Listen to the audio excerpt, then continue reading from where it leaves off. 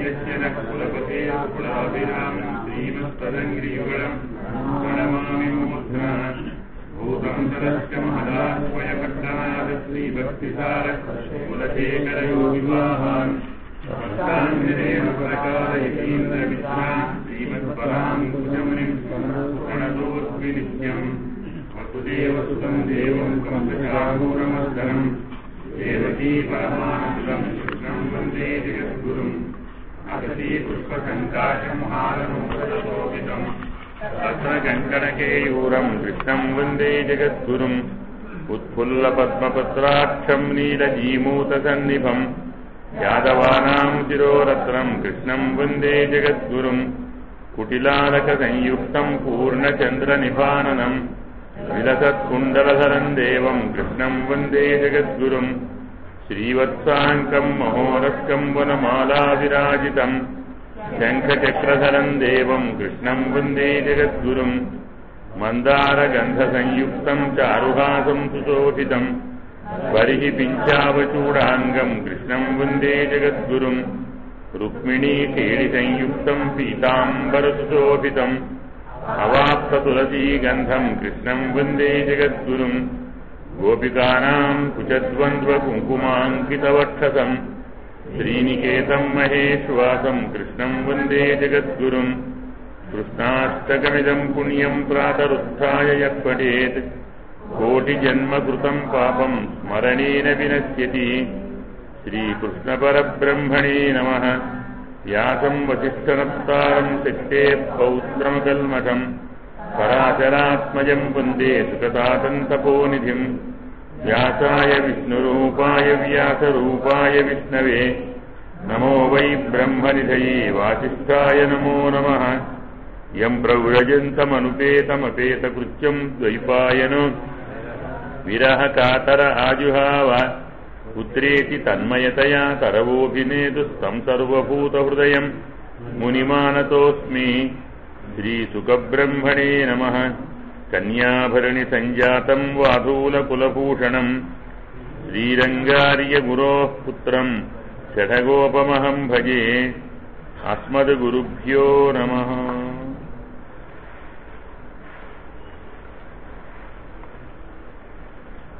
భగవత్ బంధువులరా ఏడవ అధ్యాయంలో పరమాత్మ యొక్క అవతారములను ఏమిటి కారణం? ఆయుష్యమును సద్వ్యయం చేయాలి అనుకున్నాను ఎలాగో ఖర్చు అవుతుంది ఆ అయ్యే ఖర్చు ఏదో కాస్త సత్ మంచి వ్యయం. అంటే మళ్ళీ ఆయుష్యం వ్యయం కావటానికి అవకాశం లేకుండా చేస్తే చాలు. అంటే మళ్ళీ పుట్టకుండా ఉండేటువంటి పని చేయాలి అన్నమాట. దానికి ఏమిటయ్యా మార్గము అంటే పరమాత్మ యొక్క నామములు గుణములు అవతారములు కర్మలు. వీటిని అనుసంధానం చేసుకోమని చెప్పారు. చెప్పిన వారు తానే చేశారు. ఇలా పరమాత్మ యొక్క అన్ని అవతారాలు చెప్పి మాయాం వర్ణయత అముష్య ఈశ్వరస్య అనుమోదత శృణ్వత శ్రద్ధయా నిత్యం మాయయ ఆత్మ నముఖ్యతి ఫలశ్రుతి కూడా చెప్పాడు. పరమాత్మ యొక్క పరమాత్మ అంటే మాయాస్వరూపుడు. మాయ అంటే ప్రకృతి. ప్రకృతిని తన వశంలో ఉంచుకునేటువంటి పరమాత్మ యొక్క లీలలను గుణములను కథలను కీర్తన చేసిన వారికి కీర్తన చేస్తే ఆమోదించిన వారికి మాయలో వారు మోహమును చెందరు. అంటే పరమాత్మ యొక్క మాయ వారి మీద ప్రభావాన్ని పడవేయదని ఫలశ్రుతిగా చెప్పారు. ఇదంతా విన్న తరువాత మరి పరీక్షిత్తుకు న్యాయంగా ఏమనిపించాలి? అంటే బ్రహ్మే నారదునికి చెప్పాడు నేను చెప్పినటువంటి ఈ కథను భాగవతాన్ని మీరు విని దీన్ని విస్తరింపజేయవలసింది అన్నాడు. నీవు కాబట్టి నేను కాబట్టి సంగ్రహంగా వివరించాం. ఇతరులకు దాన్ని విస్తారంగా బాగా వ్యాప్తి చేయండి వివరించండి అని చెప్పాడు కాబట్టి మరి నారదుడు వ్యాప్తి చేశాడా విస్తరించాడా వృద్ధిపరిచాడా? పరిస్తే ఎవరెవరికి చెప్పాడు? ఆ భాగాన్ని చెప్పమని మనకు పరీక్షిత్తు సుఖయోగీంద్రుని అడుగుతున్నాడు. బ్రహ్మణాచోదిత బ్రహ్మన్ గుణాఖ్యానే అగుణస్య యస్మై యస్మై యథా ప్రాహ. నారద దేవదర్శన. నారదునికి ఏం పేరు ఇచ్చారు? దేవదర్శనుడు. అంటే పరమాత్మను సాక్షాత్కరించుకున్నవాడు. దేవం పశ్యతి అన్నమాట.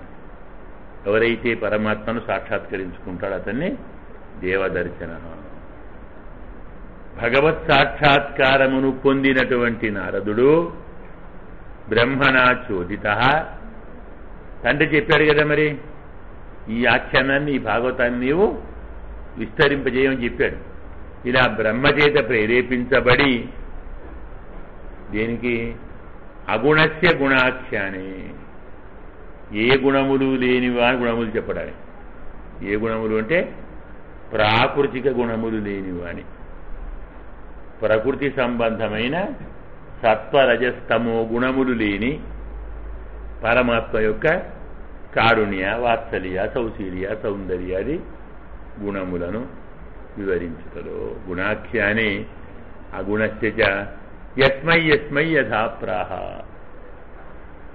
అంటే నారదుణ్ణి ఎవరు అడిగారు ఎవరెవరు అడిగారు అడిగిన వారికి నారదుడు ఎలా ఎలా? ఈ భాగవతాన్ని వివరించాడు. ఆ విషయాన్ని మాకు అనుగ్రహించండి అని పరీక్షిత్తు సుఖయోగీంద్రుడు అడుగుతున్నాడు. ఏతత్ వేదితమిచ్చామి? తత్వం వేద విదాం వరా. సుఖయోగీంద్రుడు వేదవిత్తులలో శ్రేష్ఠుడు. వేదముడు తెలిసిన వారందరిలోనూ ఉత్తముడైనటువంటి స్వామి ఏతత్ వేదితమిచ్చామి. నేను ఈ విషయాన్ని తెలియాలనుకుంటున్నాను. ఏమిటది? హరేహే అద్భుత వీర్యస్య కథ లోక సుమంగళ అద్భుత వీర్యస్య అంటే ఆశ్చర్యమును అత్యాశ్చర్యమును కలిగించేటువంటి పరాక్రమము కల పరమాత్మ యొక్క కథలను. ఎలాంటివి? లోక సుమంగళ. సకల లోకములకు శుభమును కలిగించేటువంటి అత్యాశ్చర్యకరమైన పరాక్రమము గల పరమాత్మ యొక్క కథలను తెలుసుకుందామని కోరుచున్నాను స్వామి. కథయస్వ మహాభాగ. యథాహం అఖిలాత్మని కృష్ణే నివేశ్య నిస్సంగం. మనస్యక్షి కలేవరం. అవి నీకెందుకయ్యా? అతన్ని ఎవరు అడుగుంటారు? అతను ఎవరికో చెప్పుకుంటాడు అవి నీకెందుకు చెప్పాలి? అంటే ఇప్పుడు నా ప్రయోజనం అదే కదా అంటాడు. ఏమిటట? నేను అఖిలాత్మని అంటున్నాడు సకల జగత్స్వరూపుడైనటువంటి కృష్ణ పరమాత్మ ఎందు సాంసారిక విషయ భోగముల ఎందు ఆసక్తి లేని మనస్సును పరమాత్మ ఎందు ప్రవేశింపజేసి ఈ శరీరాన్ని విడిచిపెడతాను. చక్షే కళేవరం. శరీరాన్ని విడిచిపెడతాను. ఏం చేస్తావంటే కృష్ణే నివేశ్య పరమాత్మ ఎందు ఉంచి ఎలాంటి మనస్సును? నిస్సంగం మన. ప్రతి పదము సాభిప్రాయం. అంటే మహర్షి వ్యాసభగవానుని రచన ఒకటి. రెండవది సుఖయోగిందుడు చెబుతున్నాడు. ఇతరులెవరో కాదు కదా. మరి అయినప్పుడు ఏదో అనవసరంగా పనిలేని మాటలను చెప్పరు. కృష్ణే నివేశ్య నిస్సంగం తతస్త్యక్షే కళేవరం. నిస్సంగం మన. పరమాత్మ ఎందు మనస్సు ఉంచాలి. ఎలాంటి మనస్సును? సంసారము ఎందు ఆసక్తి లేని మనస్సు. అది కాక కాస్త ఇక్కడ కాస్త అక్కడ. ఒప్పుకున్నామా గుళ్ళోకి పోతాం ఇంటి గురించి ఆలోచిస్తుంటాం. తాళం తలుపు పెట్టానా లేదా అన్ని సక్రమంగా చూసుకున్నాం లేదా ఇంకెవరన్నా ఎవరన్నా ఉన్నారా? ఇవన్నీ ఆలోచించుకు గుడికి పోతే ఏమవుతుంది? ప్రయోజనం లేదు. కాబట్టి ఏకాగ్రమైన మనస్సు కావాలి. పరమాత్మ ఎందే లగ్నం చేయాలి. పరమాత్మ ఎందే పరిపూర్ణంగా లగ్నం చేయాలంటే సంసారం ఎందు విడిచిపెట్టాలి. అందుకే నిస్సంగం మన. సాంసారిక విషయ భోగముల ఎందు ఆసక్తి లేని మనస్సును పరమాత్మ ఎందు నివేశింపజేసి ఉంచి అప్పుడు ఈ కళేవరాన్ని ఈ శరీరాన్ని విడిచిపెడతాను. శృణువత శ్రద్ధయా నిత్యం గుణతశ్చ స్వచేష్టితం కాలేన నాది దీర్ఘేన భగవాన్ విశతే హృది. అంటే సంసారం ఎందు ఆసక్తి లేని మనస్సును పరమాత్మ ఎందు ఉంచుతానంటున్నావు. సాధ్యమేనా? సంసారం ఎందు ఆసక్తిని అంత సులభంగా వదిలిపెడతామా? మనందరి మనస్సులో ఏముంటుంది ఎప్పుడు? సంసారమే ఉంటుంది. ఏది వింటున్నా ఏది చేస్తున్నా ఏది చెప్తున్నా మనస్సు మాత్రం సంసారం ఎందే ఆసక్తమై ఉంటుంది కదా? మన మనస్సులో సంసారమే ఉంటుంది. సంసారం నెలవుగా ఉన్నటువంటి మనస్సుకు మనస్సులో పరమాత్మ ఉంటాడా? అంటే ఉండట కాదు నాయన వస్తాడు అంటున్నాడు. సంసారం ఉన్న మనస్సులోకి పరమాత్మ వస్తాడు. ఎప్పుడు వస్తాడు శృణ్వత. శ్రద్ధయా నిత్యం గృణతస్య స్వచేష్టితం. పరమాత్మ యొక్క లీలలను పరమాత్మ యొక్క గుణములను వింటున్న వారి కీర్తిస్తున్న వారి హృదయంలోకి పరమాత్మ వచ్చి చేరుతాడు. మనం పరమాత్మను హృదయంలో చేర్చుకోలేమేమో కానీ ఆయన చేరవచ్చు కదా? అతను వచ్చిందా సంసారం ఉంటుందా? పరమాత్మ వచ్చి సంసారాన్ని బయటికి పంపిస్తాడు. ఇందులో మరొక ప్రధానం ఏం లేదు. మనం చేయవలసిన పనల్లా వినాలి. ఆయన కథనం విను. అతని గుణములను కీర్తించు. ఈ రెండు చేస్తే కాలేన నాటి దీర్ఘేన. ఎప్పుడో కాదు నాటి దీర్ఘేన కాలేన. అతి త్వరలోనే ఎక్కువ ఆలస్యం కాకుండా పరమాత్మ వచ్చి హృదయంలో చేరుతాడు. ప్రవిష్ట కరుణరంధ్రైన హృదయంలో చేరటానికి ఆయనకు దారం ద్వారం ఉండొద్దా? ఎక్కడి నుంచి వస్తాడండి అంటే కర్ణరంధ్రైన ప్రవిష్ట. పరమాత్మ అందుకే మనకి ఇక్కడ ఏడు రంధ్రాలు పెట్టాడు. ఈ మొత్తం భాగంలో ఏడు రంధ్రాలు ఉన్నాయి. కాబట్టి ఒక రంధ్రంతో బయటికి వెళితే రెండు రంధ్రాలతో లోపలికి రావచ్చు అని శాస్త్రం. అయితే మనం ఏం చేస్తున్నామంటే మనకు రెండు రంధ్రాలు ఇచ్చాడు. చెవులు రెండు ఎందుకుంటే ఒక దాంతో వినాలి ఇంకో దాంతో విడిచిపెట్టాలి. పోతుంది మళ్ళీ. ఇక్కడ ఉండిపోతే బాధ కదా బరువు అవుతుంది. అంత ఉంచుకుంటాము అని. కానీ పరమాత్మ ఆ పని చేయనీయకుండా మనం వింటూ ఉంటే శబ్దములతో పాటు శబ్ద ప్రతిపాద్యుడైన పరమాత్మ కూడా కర్ణరంధ్రముతో హృదయంలో చేరుతాడు ప్రవేశిస్తాడు. ప్రవిష్ట కర్ణరంధ్రేణ స్వానాం భావసరోరుహం.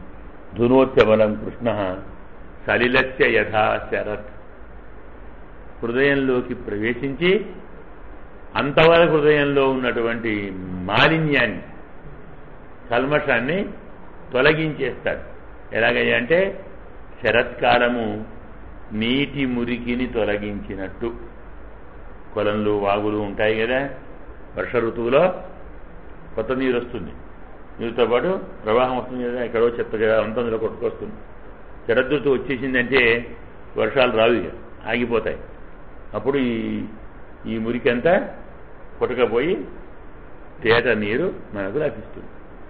అంటే శరత్కాలమే నీరు మురికిని పోగొట్టినట్టుగా పరమాత్మ కర్ణరంధ్రంతో మన హృదయంలోకి ప్రవేశించి హృదయంలో ఉన్నటువంటి అన్ని రకముల మాలిన్యాన్ని తొలగిస్తాడు. భౌతాత్మా పురుష కృష్ణ పాదమూలన్న ముంచెటి ఎప్పుడైతే మనస్సు పరిశుద్ధిని పొందిందో మనం పరమాత్మను ఎందుకు విడిచిపెడుతున్నామండి భగవంతుని మనం అంటే మనస్సులో మురికి ఉండి వదిలిపెడుతున్నాం. మనస్సు పరిశుద్ధమైంది అనుకోండి పరమాత్మను విడువాడన్నా మనం విడిచిపెట్టలేము. భగవంతుని పాదములను విడిచిపెట్టకుండా ఉండాలంటే మనస్సు పరిశుద్ధం కావాలి. అది కూడా మనం చేసుకోలేము పరమాత్మే చేయాలి. మనం ఏం చేయాలి? కథలు వింటే చాలు. పరమాత్మ కథలను వింటూ పరమాత్మ గుణములను గానం చేస్తూ ఉంటే పరమాత్మే కరణముల ద్వారా హృదయంలోకి ప్రవేశించి హృదయంలో ఉన్నటువంటి మాలిన్యాన్ని తొలగిస్తాడు. ఎప్పుడైతే హృదయ మాలిన్యం తొలగిపోతుందో మనము పరమాత్మ యొక్క పాదమూలమును విడిచిపెట్టలేము నముంచతి. ముక్త సర్వ పరిక్లేశ పాంథ స్వశరణం యథ. ఎన్నో కష్టములు పడతారు. ఎవరు? బాటసారు అంటే ఇంటి నుంచి పని మీద ఎక్కడో తిరుగుతారు కదా. తన ఇల్లు కాక ఎక్కడికి పోయినా కానీ వాళ్ళకి కొన్నివో ఇబ్బందులే ఉంటాయి అసౌకర్యాలు ఉంటాయి బాధలు ఉంటాయి కష్టాలు ఉంటాయి. అవన్నీ పడతారు. ఎప్పుడు మనం ఇల్లు చేరుదామా? ఎప్పుడు ఈ బాధలు పోతాయని చూస్తారు కదా. అలా ఇంటిలోకి చేరగానే తన ఇంటికి చేరగానే ఎలా బాటసారి యొక్క కష్టాలన్నీ తొలగిపోతాయో పరమాత్మను చేరిన మన కష్టాలు కూడా తొలగిపోతాయి. అంటే ఏమర్థం అన్నమాట? మనం ఇప్పుడున్నది ఎక్కడ? కదా? అడవిలో ఉన్నాం. అసలు మన ఇల్లు ఎక్కడుంది? పరమాత్మ. మన ఇల్లు అది. ఇల్లు పెట్టి వచ్చాం. చాలా చక్కగా చెప్తాడు దృష్టాంతం. అర్థం చేసుకోవచ్చు. మన ఇల్లు పరమాత్మ. మన ఈ సంసారం అంటే ఏదో విదేశాలు ఏదో చోటో అడిగో అరణ్యము మాకి అరణ్య బ్రహ్మారణ్యం. అన్ని మృగాలు ఉన్నాయి ఇందులో చెప్పిన సంసార. ఘోర గహని చెరతో మురారే మారోగ్రభీకర మృగ ప్రవరార్దితస్య సంసారం అనేటువంటి మహాభయంకరమైన అరణ్యము అని చెప్పాడు. ఇందులో పెద్ద పెద్ద మృగాలు ఉన్నాయట ఏంటది? మారహ. ఎవరు మారహ? మదనో మన్మథో మారహ కందర్పో గంధ ప్రద్యుమ్నో మీనకేతన మన్మధుడు. అంటే కామము కోరిక. కోరిక అనేటువంటి పెద్ద మృగాలు బాధిస్తున్నాయి. కాబట్టి అరణ్యంలో ఉన్న మనము అరణ్యంలో మనము సహజంగా పొందుతున్నటువంటి కష్టములన్నీ విడిచిపెట్టాలంటే మన ఇంటికి మనం పోవాలి. ఎక్కడుందండి మన ఇల్లు అంటే పరమాత్మ ఒకసారి అక్కడికి పోయిన తర్వాత మళ్ళీ అడవికి రమ్మన్నా రాము అని అర్థం. ముక్త పరిక్లేశ సుశరణం యథా. యథాతుమత బ్రహ్మన్ దేహారంభోస్య ధాతుభి ఎదురుచ్ఛయా హేతునావా భవంత జానతే యథ. ఇక్కడి దాకా ఈ ఆరేడు శ్లోకాలు ఏం చెప్పాడు? తాను భగవంతుని యొక్క గుణములను లీలలను కథలను వినటానికి ఎంతగా తహతహలాడుతున్నాడు చెప్పాడు.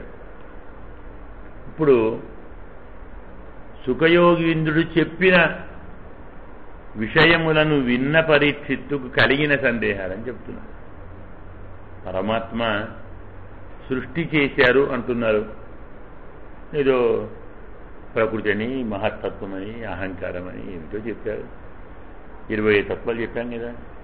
పంచ తన్మాత్రలు పంచ జ్ఞానేంద్రియములు పంచ కర్మేంద్రియములు అలాగే పంచ భూతములు అలాగే ప్రకృతి మహత్తు అహంకారము అంతఃకరణము ఇలా ఇరవై నాలుగు తత్వాలు చెప్పారు. ఇవన్నీ కలిసి ఒక ఆకారముగా ఏర్పడింది చెప్తున్నారు. ఇప్పుడు సందేహం ఏమిటంటే ఈ శరీరము ఏర్పడేది ఎవరికి? శరీరము లేనివారికా ఉన్నవారికా? లేని వారికి కదా? కదండి ఉంటే మన శరీరం ఎందుకండి? అంటే జీవుడికి శరీరం ఏర్పడుతుంది కదా? మరి జీవుడికి శరీరం ఏర్పడుతుంది అంటే జీవుడు వాస్తవంగా శరీరము లేనివాడే. ఒప్పుకోవాలి. అంటే శరీరం ఏర్పడుట అంటే శరీరం అంటే ఏమిటి? సప్తధాతుమయం. కదా? త్వక్ మాంస రుధిరం అని చెప్పుకుంటున్నాం. మధ్య వప అస్థి స్నాయు అని మొత్తం మనకు ఏడు ధాతువులు. ఈ ఏడు ధాతువులతో కూడి ఉన్నది శరీరం. ఏడు ధాతువులు లేనిది జీవుడు. కదా? ధాతువులు లేని జీవుడికి ధాతువులతో ఏర్పడే శరీరం యొక్క సంబంధము అకారణముగానే ఏర్పడుతుందా? సకారణముగా ఏర్పడుతుంది. అర్థమైనా సందేహం? ఇది తెలిస్తే మనకు భగవతం అంతా అర్థమవుతుంది. యత్ అధాతుమత బ్రహ్మన్ దేహారంభ అస్య ధాతు ధాతువులు లేనటువంటి జీవునికి ధాతువులతో దేహారంభముందే అది ఎదురుచ్ఛయ హేతునావా అకారణం కలుగుతుందా? ఏదైనా? హేతున అంటే సకారణం. కారణముతో కలుగుతుందా? భవంత జానతే యథ. మీరెలా భావిస్తున్నారో మీరెలా అనుకుంటున్నారో మాకు ఆ రహస్యాన్ని వివరించండి. ఆసీత్ యదుదరాత్ పద్మం లోక సంస్థాన లక్షణం యావానయం వై పురుష ఇయత్తావయవై పృథక్. తావాన్ అసావితి ప్రోక్త సంస్థావయవ వాన్ ఇవ. ఎందుకంటే కల్పములు వరాహ కల్పము పాద్మ కల్పము ఇలా మనం ఇలా చెప్పుకుంటూ వచ్చారు మీరు. ఇందులో సకల చరాచర జగత్తుకు ప్రతీకగా ఒక పద్మాన్ని పరమాత్మ తన నాభి నుండి సృష్టించాడు. కదా? ఆ పద్మము నుండి బ్రహ్మ ఏర్పడ్డాడు. ఆ బ్రహ్మ నుండి లోకములు ఏర్పడ్డాయి. అంటే బ్రహ్మ నుండి ఏర్పడిన లోకములు పద్మములోనివే కదా. కొత్తవి కావు. పద్మం అంటే ఏమిటి? అన్ని లోకములకు ప్రతీక. ఇక్కడ పద్మమే అవయవవాన్. పద్నాలుగు లోకములో అనంత కోటి బ్రహ్మాండములో అవన్నీ ఎక్కడున్నాయి? పద్మంలోనే ఉన్నాయి. తాను అందులో కూర్చొని ఒక్కొక్క రేకును చూసుకుంటూ ధాత యథాపూర్వం అకల్పయత్ అని కదా చెప్పేది. మరి పద్మము సావయవమే బ్రహ్మ సావయవుడే లోకములు సావయవములే. ఈ మూటిని సృష్టించిన పరమాత్మ మాత్రం నిరవయవుడు. కదా? అంతేనా? భావం అదేనా? ఒక్కొక్క దాన్ని కొంచెం స్పష్టంగా చెప్పండి. నిరాకారస్య సాకార. నీరూపస్య తథారూపం. నిర్గుణస్య గుణాహ యథ. మనకు ముందరొస్తుంది. పరమాత్మకు ఏ ఆకారము లేదు. అన్ని ఆకారములు పరమాత్మవే. పరమాత్మకు ఎలాంటి గుణములు లేవు అన్ని గుణములు పరమాత్మవే. పరమాత్మకు ఎలాంటి కోరికలు లేవు. ప్రపంచంలో కోరికలున్న అందరిలోనూ ఆయనే ఉన్నాడు. కదా? మరి ఈ మూడు ఇంత స్పష్టంగా చెప్పినప్పుడు అతని నుండి వచ్చిన వారికి అవయవాలు ఉంటే అతనికి ఉన్నట్ట లేనట్టా? కొంచెం లోతుగా వెడతాడు జాగ్రత్తగా ఇందులో. ఆసీతి ఎదురాతు పద్మం లోక సంస్థాన లక్షణం. సకల లోకముల యొక్క స్థితిని బోధించేటువంటి సూచించేటువంటి తెలియజేసేటువంటి పద్మము ఏ మహానుభావుని ఉదరము నుండి వెలువడినదో. యావానయం వై పురుష ఇయత్త అవయవై పృథక్. ఇప్పుడు ఆ పద్మములో నుండే ఒక పురుషుడు వచ్చాడు కదా? ఎలా వచ్చాడు? ఇయత్తావయవై సహస్రశీర్ష పురుష సహస్రాక్ష సహస్రపాత్ అని సహస్ర శీర్షములు ఏదో ఇంకేమిటో ఏమిటో ఇలా అనేకమైనటువంటి అవయవాలు. ఇవన్నీ ఎక్కడి వింటే తరువాత తాను సృష్టించబోయేటువంటి వ్యష్టి పురుషుని యొక్క ఇంద్రియ అవయవములు. కరణములు కళేవరం. అంటాం కదా? కరణ కళేవరం. అంటే భోక్తృ భోగ్య భోగోపకరణ. భోగోపకరణము భోగ్యము భోగస్థానీయము. సృష్టి మొత్తాన్ని మనం మూడు భాగాలుగా చెప్తాం. ఒకటి భోగ్యం అంటే అనుభవింపదగినవి పదార్థము ద్రవ్యములు. రెండవది భోగ ఉపకరణములు. అంటే అనుభవించడానికి కావలసిన సాధనములు. కదా? మూడవది భోగ స్థానములు. అనుభవించవలసిన స్థలము.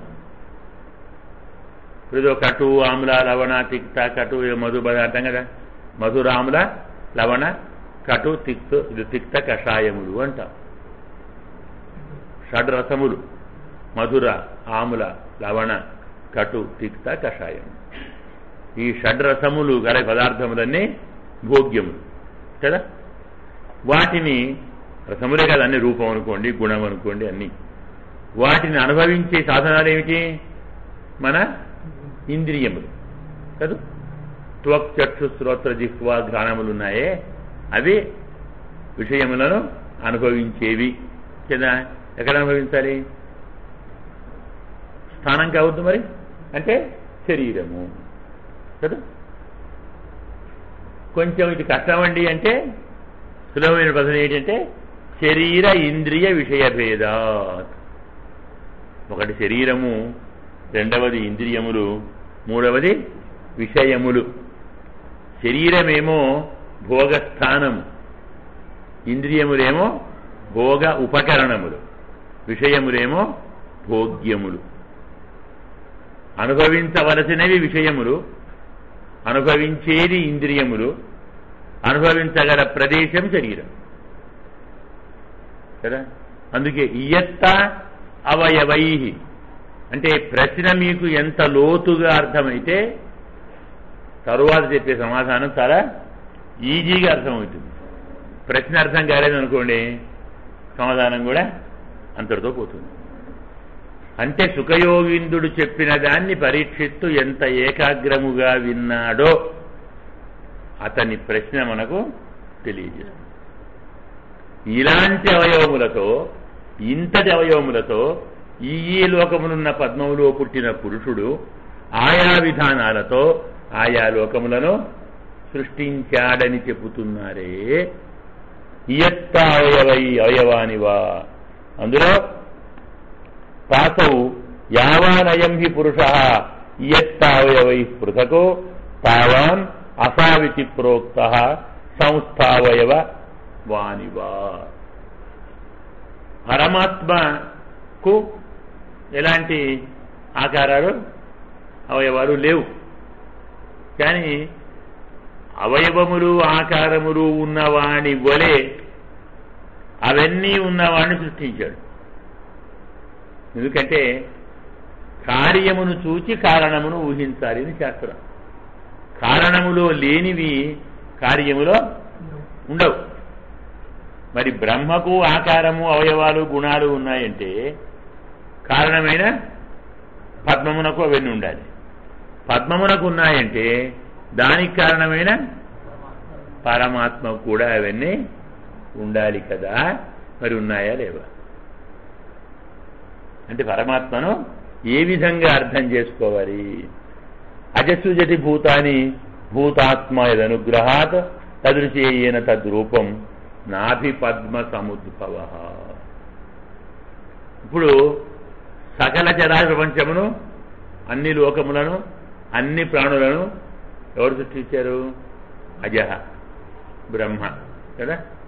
చతుర్ముఖ బ్రహ్మ అంటున్నాం. చతుర్ముఖ బ్రహ్మ ఈ లోకములను ఈ ప్రాణులను సృష్టించాడు అన్నారు. అతను సృష్టించాడని మళ్ళీ పక్కన చెప్పరు. యత్ అనుగ్రహాత్ అంటారు.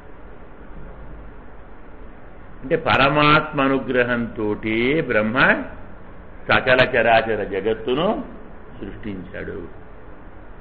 అతని అనుగ్రహాన్ని పొందినట్టు మనకు ఏమిటి గుర్తు? ఏం చెబుదాము అంటే ఈ బ్రహ్మ పరమాత్మను సాక్షాత్కరించుకున్నాడు. భగవంతుని యొక్క దివ్య మంగళ విగ్రహ రూపాన్ని ఇతను సందర్శించుకున్నాడు. అందులో దదృశ్య తద్రూపం నాభి పద్మ సముద్భవ పరమాత్మ యొక్క నాభి పద్మము నుండి పుట్టిన బ్రహ్మ తద్రూపం ఈయన దదృశే. ఆ పరమాత్మ యొక్క స్వరూపాన్ని ఏనంటే అంటే యస్య అనుగ్రహేణ ఏ మహానుభావుని దయతో దాన్ని పరమాత్మ రూపాన్ని సూక్ష సాక్షాత్కరించుకున్నాడో సచాపి ఎత్ర పురుష విశ్వస్థిత్యుద్భవాప్యయ. బ్రహ్మ ఏ పరమాత్మను సాక్షాత్కరించుకున్నాడో ఆ పరమాత్మ సకల చరాచర జగత్తు యొక్క సృష్టి స్థితి లయములకు మూలము అని చెప్పారు. కదా? స్థితి సృష్టి లయం మూటికి ఆ మహానుభావుడే మూలము. అయినప్పుడు ముక్త్వాత్మవాయాం భామాయేశ సర్వగుహాశయ. ఈ పరమాత్మ ఆత్మమాయాం ముక్త్వ తన మాయను అంటే ప్రకృతిని. దానిని విడిచిపెట్టి తానే వచ్చి ప్రతివారి హృదయంలోనూ అంతర్యామిగా నివసిస్తుంటాడు. అక్కడ ఉన్నాడు. అనిరుద్ధ రూపంలోనూ ఉన్నాడు. చతుర్ముఖ రూపంలోనూ ఉన్నాడు. తానే మాయా రూపంలో ఉన్నాడు. మళ్ళీ ఆ మాయను విడిచిపెట్టి ప్రతి జీవుని హృదయంలో అంతర్యామిగా వచ్చి ఉంటున్నాడు అని కూడా మీరు చెప్పారు. ఇప్పుడు గుహాశయ పురుషావయవై లోకా సపాలా పూర్వకల్పిత. ఈ పరమాత్మ యొక్క అవయవములతోటే అన్ని లోకములు కల్పించబడ్డాయి అన్నారు కదా. పాతాళమేతస్యహి పాదమూలం మనం చెప్పుకున్నాం జ్ఞాపకం అనుకుంటాను. పరమాత్మ యొక్క విశ్వరూపంలో పాతాళ లోకం వంటిదని యొక్క పాదమూలము. అక్కడి నుంచి ఏదో రసాతలం అంటే పిక్కలు అని అందులో చెప్పుకుంటూ వచ్చాం. కాబట్టి పరమాత్మ అవయవములతోటే లోకములు ఏర్పడ్డాయి. ఒకసారి చెప్పారు. పరమాత్మ నాభి పద్మములో నుండి వచ్చిన బ్రహ్మ లోకము సృష్టించారని ఒకసారి చెప్పారు పరమాత్మ తన సంకల్పంతో లోకం సృష్టించాడని ఇంకోసారి చెప్పారు. మరి ఇందులో ఏది కరెక్ట్?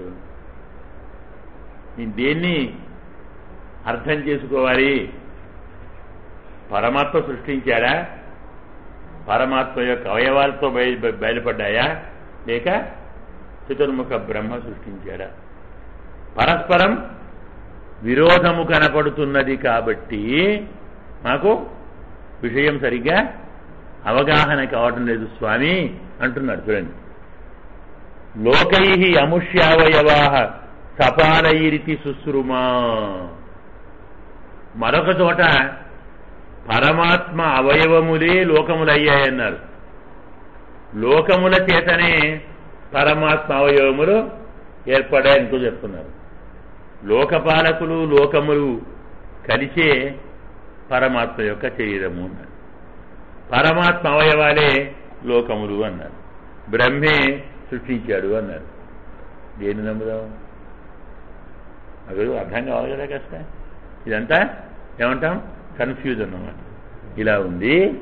అందుకోసమని యావాన్ కల్ప వికల్పోవా యథా కాలోను మీయతే కాబట్టి నాకు ఈ విషయాన్ని చాలా స్పష్టంగా బోధించాలి. అలాగే మళ్ళీ కల్పము అన్నారు వికల్పము అన్నారు. కల్పం అంటే ప్రాకృతిక ప్రళయం. అంటే ఏమిటి? బ్రహ్మకు నూరేళ్ళు నిండుట. బ్రహ్మకు నూరేళ్ళు నిండితే కల్పం అంటారు వికల్పం అంటే బ్రహ్మకు ఒక పగలు గడుచుట. నైమిత్తిక ప్రళయం. వికల్పం అంటే నైమిత్తిక ప్రళయం. కల్పం అంటే ప్రాకృతిక ప్రళయం.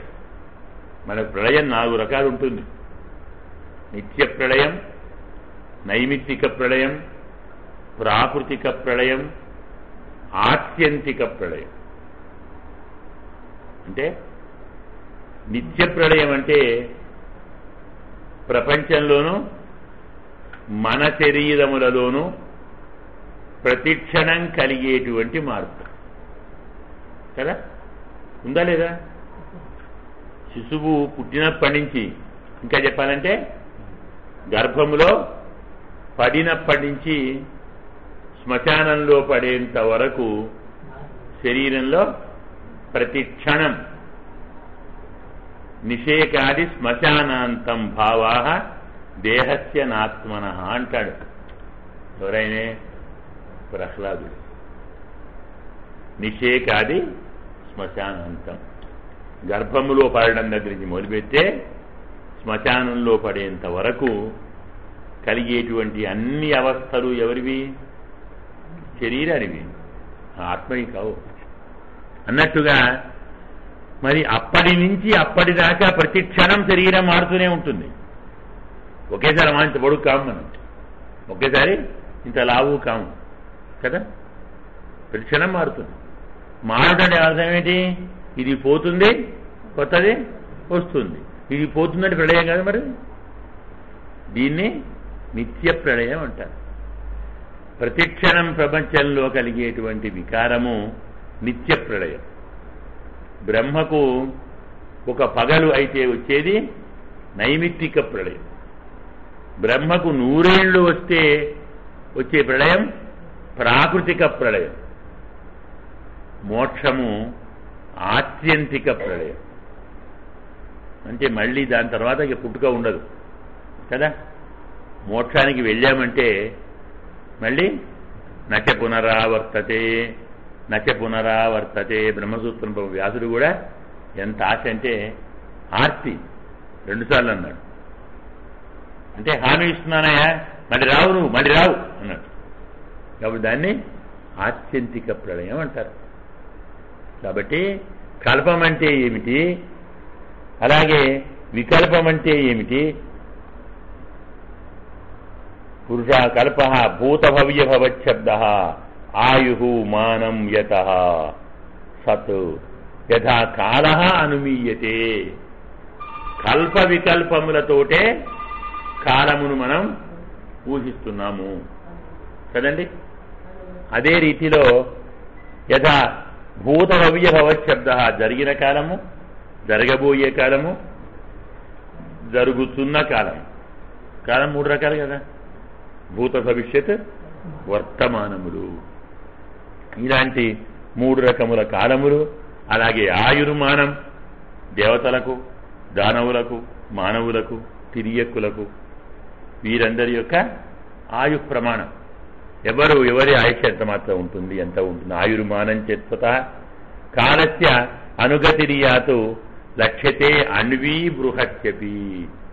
కాలం కూడా అతి సూక్ష్మము ఉంది అతి విశాలము ఉంది. అంటే మనము ఏదో లవం అంటాం.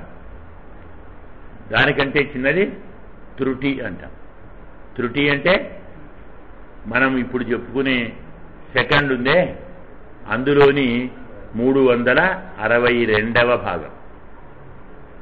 సెకండ్లోని మూడు వందల అరవై రెండవ భాగం ఉందే దాన్ని త్రుటి అంటారు. ఇది కాలములో అతి సూక్ష్మ స్థితి. ఇంతకంటే మనం మన సూక్ష్మాన్ని?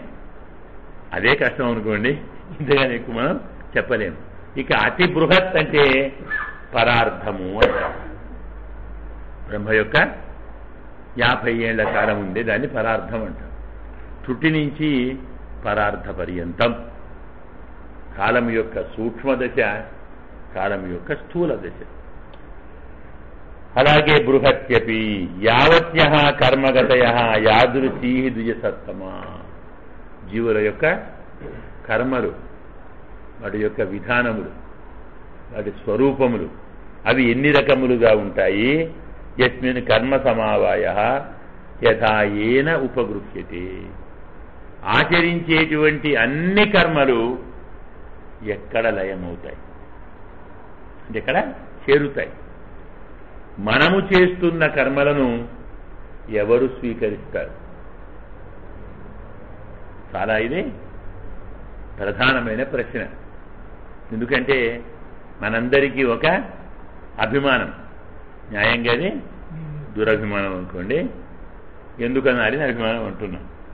నేనే కర్మ చేస్తున్నాను. నేను కర్మ నా కోసమే చేస్తున్నాను. నా కోసము నేను చేస్తున్న కర్మ ఫలితం నాకే లభిస్తుంది. తప్పకుండా లభిస్తుంది. ఈ మూడు కరెక్టేనండి ఇందులో ఏ ఒక్కటైనా కరెక్టా? ఎందుకంటే మనము ఆచరించే కర్మలు మనము ఆచరించటం లేదు మనతో పరమాత్మ ఆచరింపచేస్తున్నాడు. యోష దారుమయీయథ చిన్న ఉదాహరణ మనకు. ఇప్పుడు మర్చిపోయారేమో మరి ఉన్నాయో తెలియదు కానీ తోలుబొమ్మలాట ఆట అని ఉండేది పాత రోజుల్లో. తోలుబొమ్మలాట ఆట అని. పరదా అవతల లోపల మనిషి ఉంటాడు. బొమ్మలకు దారాలు కట్టి ఎక్కడో కూర్చుంటాడు. ఆ ముందర తెర ఉంటుంది. ఆ లోపల నుంచి వాడు దారాలను వాటిని స్ప్రింగులాగా ఉంటాయి వాటిని అందులోనే రామాయణం అందులోనే భారతం అని చెప్తుంటాడు. అవన్నీ ఆడుతుంటాయి. ఇవి నాట్యం చేస్తాయి ఆటలు ఆడతాయి కొట్లాడతాయి యుద్ధం చేస్తాయి. కానీ ఏం చేయాలన్నా దారం వాడి చేతిలో ఉంటుంది. వాడు అది లాగితే వీడిని చేయి కదులుతుంది. అది వాడు లాగలేదనుకోండి వీడి చేయి అంతే ఉంటుంది స్తంభించిపోతుంది. లాగితే ముందరికి పోతుంది ఇట్లా అయితే వెనక్కుపోతుంది. వాడు భయపెడితే కింద పడతారు మరి ఇప్పుడు కొట్లాడుతున్నది బొమ్మలన్నట బొమ్మలు ఆడించేవాడు మనందరం కూడా అలాంటి తోలు బొమ్మలమే వాస్తవంగా మనందరి దారాలు ఆయన దగ్గర ఉన్నాయి. ఎప్పుడే దారాన్ని లాగుతాడో ఎప్పుడు ఎవరిని పడేస్తాడో ఎప్పుడు ఎవరిని కొట్టిస్తాడో ఎవరికి తెలియదు. కాబట్టి అదే చెప్తున్నాడు అనమాట కర్మలు చేస్తున్నది ఎవరు కర్మలను చేయిస్తున్నది ఎవరు? చేసిన కర్మలను స్వీకరించేది ఎవరు? ఫలితం నీకా నాకా? ఏం చెబుదాం క్షీరసమధనం చేశారు. దేవతలు రాక్షసులు సమానంగా చేశారు. కాస్త ఇంకా చెప్పాలంటే దేవతలకు రాక్షసులు బలం ఎక్కువ కదండి. ఎక్కువ కష్టం వాళ్ళే పడ్డారు న్యాయంగా. మరి ఫలితం ఎవరికి వచ్చింది? దేవతలకు వచ్చింది. అమృతం మాకు కూడా వస్తుంది అనుకున్నారు పాపం. అయితే పోని అమృతాన్ని వాళ్ళ దగ్గర నుంచి స్వామి గుంజుకున్నాడా? గమనించండి. మనము మన చేతిలోకి రాబోయే ఫలితాన్ని మనమే స్వయంగా ఎలా జార విడుచుకుంటామో చెప్పే కదా క్షీరసాగర మథనం. కదా? స్వామి కడస నుండి అమృతాన్ని గుంజుకున్నాడా అండి? వాళ్ళే ఇచ్చారు పంచమని.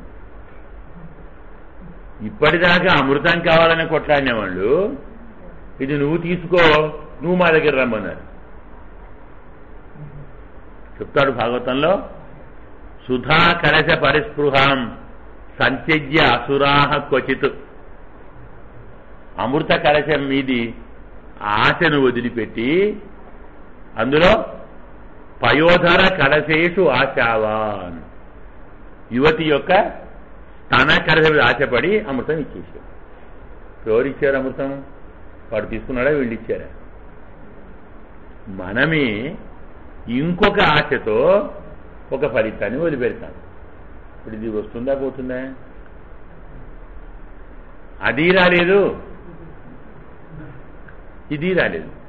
కాబట్టి స్వామి తీసుకున్నాడా? వీళ్ళు ఇచ్చారా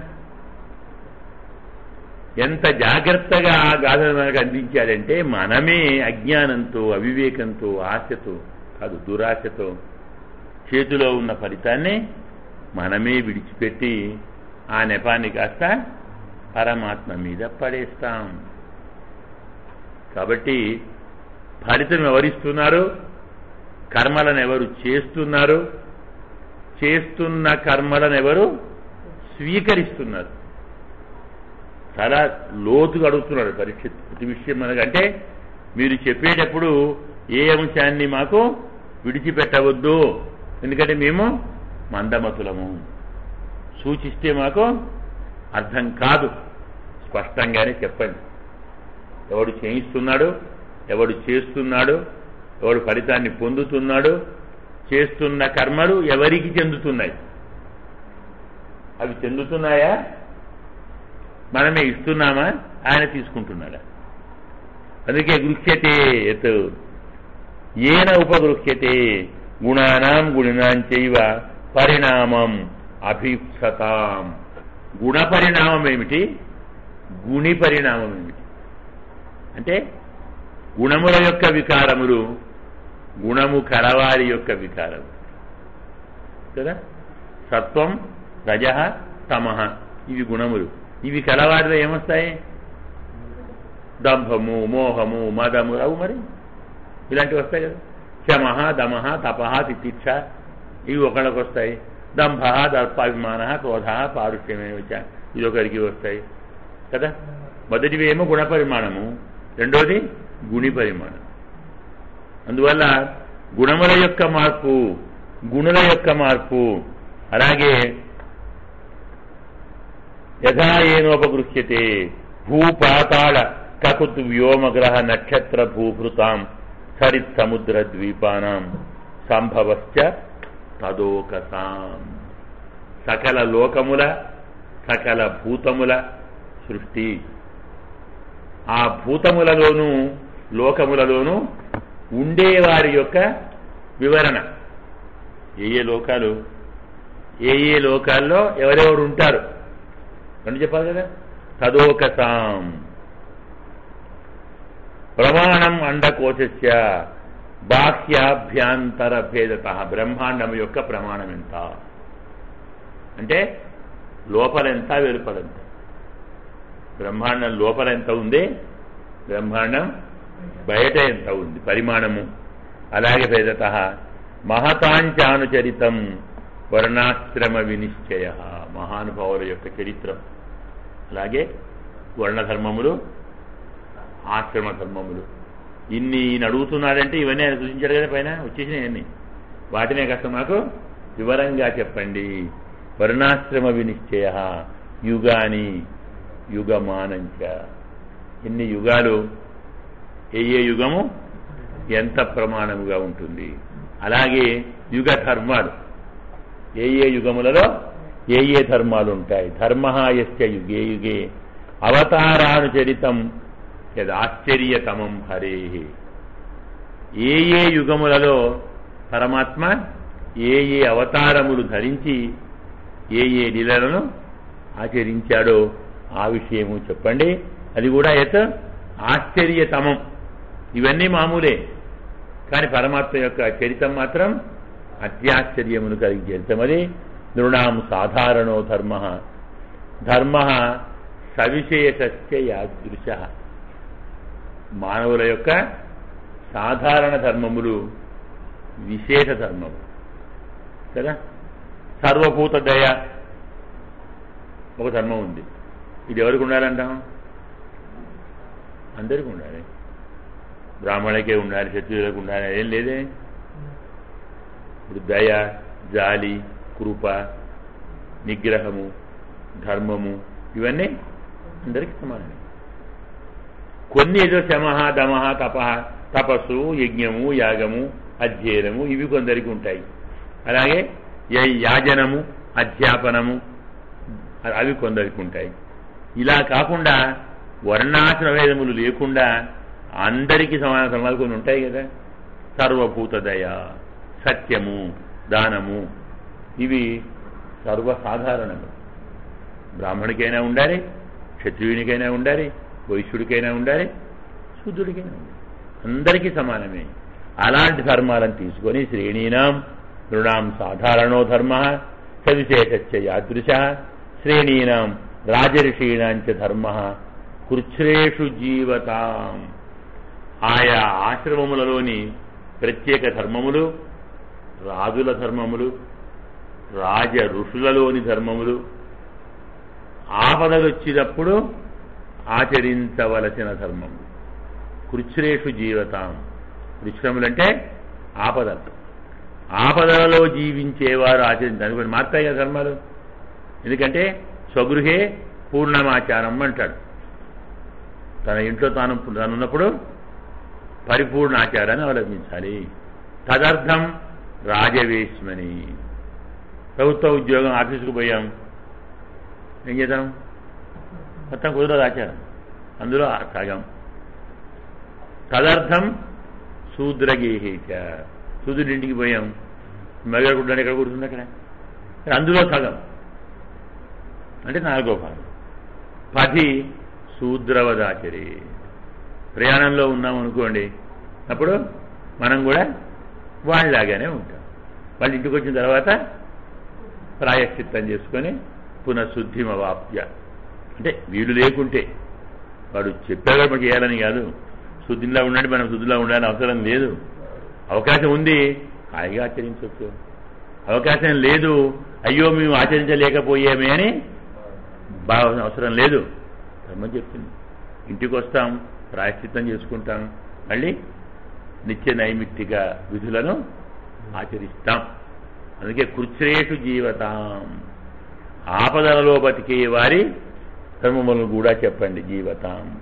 తత్వానాం పరిసంఖ్యానం లక్షణం కేతు లక్షణం తత్వములు ఎన్ని?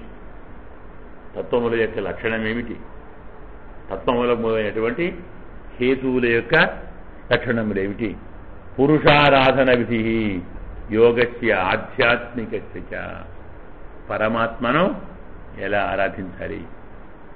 అలాగే యోగం అంటే ఏమిటి? అధ్యాత్మ యోగం అంటే ఏమిటి? ఇలాగే యోగస్య ఆధ్యాత్మికస్య చ. యోగేశ్వరే ఐశ్వర్యగతి లింగభంగస్తు యోగిన. యోగేశ్వర ఐశ్వర్యం. పరమాత్మ యొక్క శాసకత్వం ఎలా ఉంటుంది? యోగుల యొక్క ప్రభావం ఏమిటి అలాగే యోగినాం లింగ భంగ లింగం అంటే శరీరం. భంగ అంటే నాశం అంటే యోగులకు మోక్షము అన్నమాట. యోగులకు శరీరపాతం ఎలా జరుగుతుంది? లింగభంగస్య యోగినాం. వేద ఉపవేద ధర్మాణం ఇతిహాస పురాణయో. వేదములు ఉపవేదములు. అంటే ఆయుర్వేదం ధనుర్వేదం ఏదో గాంధవేదం ఉన్నాయి కదా? ఉపవేదాలు అంటారు. ఇలాంటి ఆ, అవి నాలుగు ఉంటాయి ఇవి నాలుగు ఉన్నాయి. వేదాలు నాలుగు అలాగే ఉపవేదాలు కూడా నాలుగు అంటాం. ఇలాంటి ఈ ఉపవేదములను వేదములను ధర్మములను ఇతిహాస పురాణములు సంప్లవం అంటే ప్రళయం సర్వభూతానాం సంప్లవ అన్ని ప్రాణుల యొక్క ప్రళయము. సంప్లవ సర్వభూతానం. విక్రమ ప్రతి సంక్రమ సృష్టి మళ్ళీ మళ్ళీ ప్రళయము దాని యొక్క రక్షణ. ప్రతి సంక్రమ ఇష్టాపూర్త కామ్యానాం త్రివర్గస్య విధి మనకు ఇష్టములని పూర్తములని రెండు రకాల కర్మలు ఉంటాయి. అంటే ఏమిటి? యజ్ఞములు యాగములు ఉన్నాయే? ఇవన్నీ ఇష్టములు అంటారు. పూర్తములు అంటే నదులు బావులు తోటలు దేవాలయాలు ఏర్పాటు చేస్తామే? అంటే కాలువలు తవ్వించడము బావులు తవ్వించడం చెరువులు తవ్వించడం తోటలు ఏర్పాటు చేయటం దేవాలయాలు ఏర్పాటు చేయటం వీటన్నిటిని పూర్తములు అంటారు. యజ్ఞయాగాది ఆరాధనలు ఇష్టములు అంటారు. ఇలా ఈ ఇష్టాపూర్త విధి అలాగే కామ్య విధి మళ్ళీ ఇవి కూడా ఇష్టాపూర్తములు కూడా కామ్యములా నిష్కామ్యములా అని మనం యజ్ఞం చేస్తున్నాం. హోమము యాగము పూజను ఆరాధన చేస్తున్నాం. ఎందుకు చేస్తున్నాం ఆరాధన? ఏం చెప్పాలి? అబ్బాయి కావాలో అమ్మాయి కావాలో ఇల్లు కావాలో వాకిలి కావాలో చదువు కావాలో ఉద్యోగం కావాలో.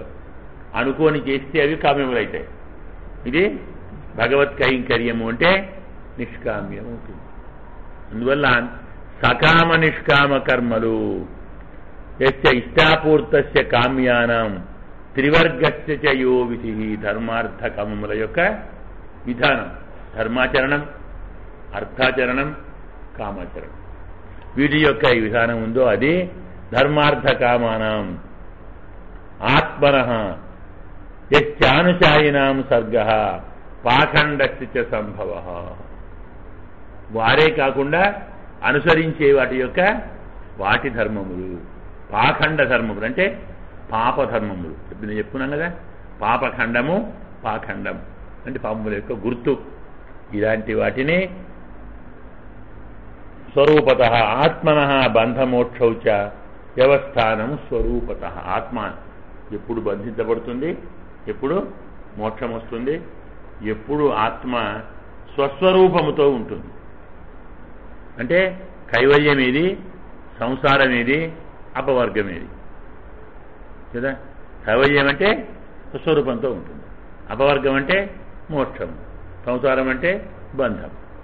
కాబట్టి స్వ బంధము మోక్షము స్వస్వరూపము. బంధమోక్ష వ్యవస్థానం స్వరూపత.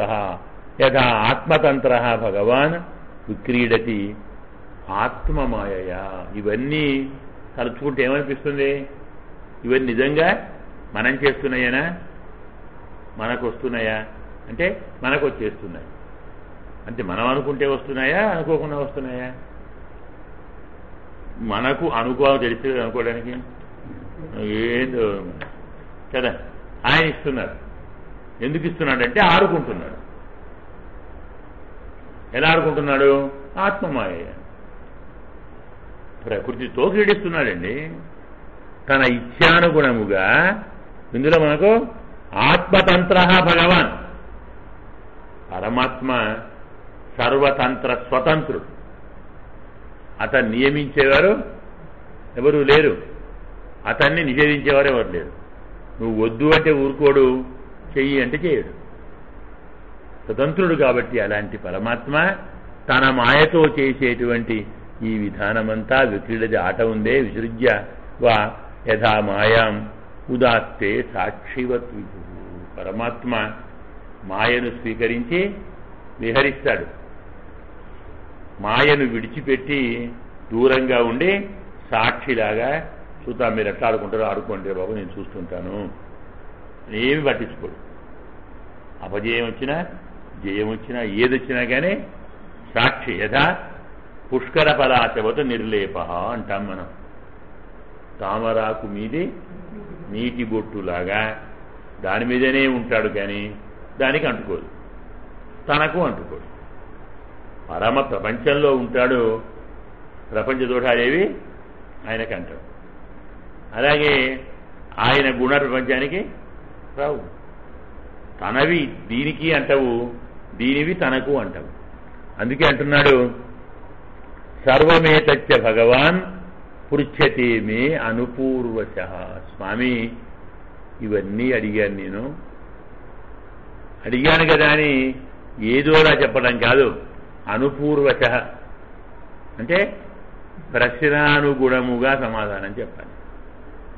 Question number one question number two question number three అని వేసుకుంటూ సమాధానం చెప్పాలి తప్ప నేను ఇది అడిగితే నువ్వు చివరి మొబెట్టావనుకో మరి ఆ జవాబు దేనిదో నేర్చుకునేగా ఇప్పుడు జవాబు అయిపోతుంది. ఇంకా నాకేం అర్థమవుతుంది? అందుకే అనుపూర్వక. యథాక్రమంగా. అంటే నేను ఏ క్రమంగా అడిగానో మీరు అదే క్రమంగా చెప్పండి. మీరు మహానుభావులు. సర్వజ్ఞులు. ఎక్కడే మొదలు పెడతారు నాకు అర్థం కావద్దు. అందుకే అనుపూర్వశ. తత్వత అర్హసి ఉదాహర్తం ప్రపన్నాయ మహాముని. వాస్తవాన్ని ఉన్నదున్నట్టు చెప్పాలి. నీకెందుకు చెప్పాలయ్యా అంటారా? ప్రపన్నాయ.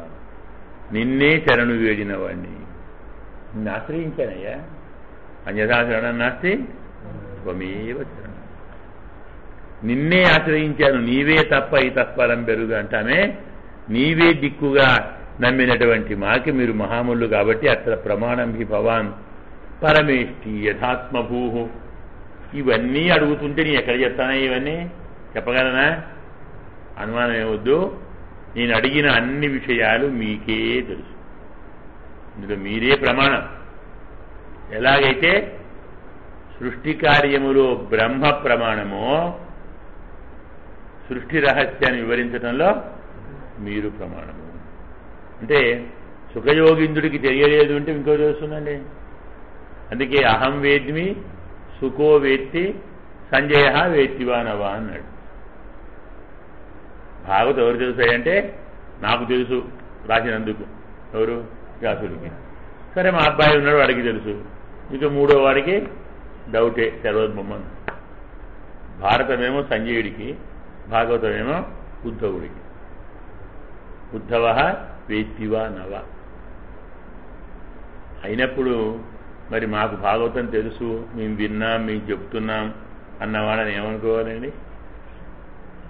కాబట్టి అతను స్ఫురింపజేసిన దానిలోని సహస్రాంశము లక్షాంశమో చెప్పుకుంటాను తప్ప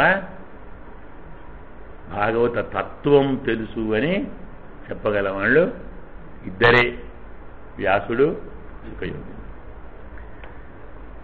అత్త ప్రమాణం హి భవాన్ పరమేష్ఠీ యథాత్మభూ పరేచేహాను తిష్టంతి పూర్వేషాం పూర్వజై కృతం. ఉన్నవారికంటే అందరికంటే ముందువారు. మాకంటే ముందు వారు ఏం చేశారో తరువాతి వారు దాన్ని అనుసరిస్తారు కదా. మా పెద్దలు చేశారండి మేము ఇలాగే చేస్తాం. అంటారు. కొందరికి విశ్వాసనామ పారాయణం వంతన లేదు. అచ్చిరాదు. మరికొందరికి పరమాత్మ ఫోటో ఇంట్లో కూడా అచ్చిరాదు. ఏముందండి నమ్ముదామని మా పెట్టలేదండి. మేము పెట్టాం. పరమాత్మ ఎట్టి పరిస్థితుల్లోనూ ఎవరికైనా హాని చేస్తాడా? అందులో ఆయన రూపం పెట్టుకుంటే. అతని నామం చెప్పితే అతని గుణములు చెప్తే అతని కథలు చెప్పుకుంటే హాని జరుగుతుంది. కానీ మా వాళ్ళు ఎవరు చేయలేదండి. కాబట్టి మేము చేయం. అంటే మా తాతగారు నరకానికి పోయారు మా నాన్నగారు నరకానికి పోయారు. మేము కూడా నరకానికే పోతాం. మొదట పోతామండి? వాళ్ళు పోతే మేము పోతాం. అట్లా? పోతే మేము కూడా పోము. ఇది పూర్వేటాం పూర్వజయి కృతం. మాకంటే ముందు వారు వారికంటే ముందు వారు ఏం చేశారో తరువాతి వారు అదే చేస్తారు. పక్కదారికి వెళ్ళరు అన్నమాట.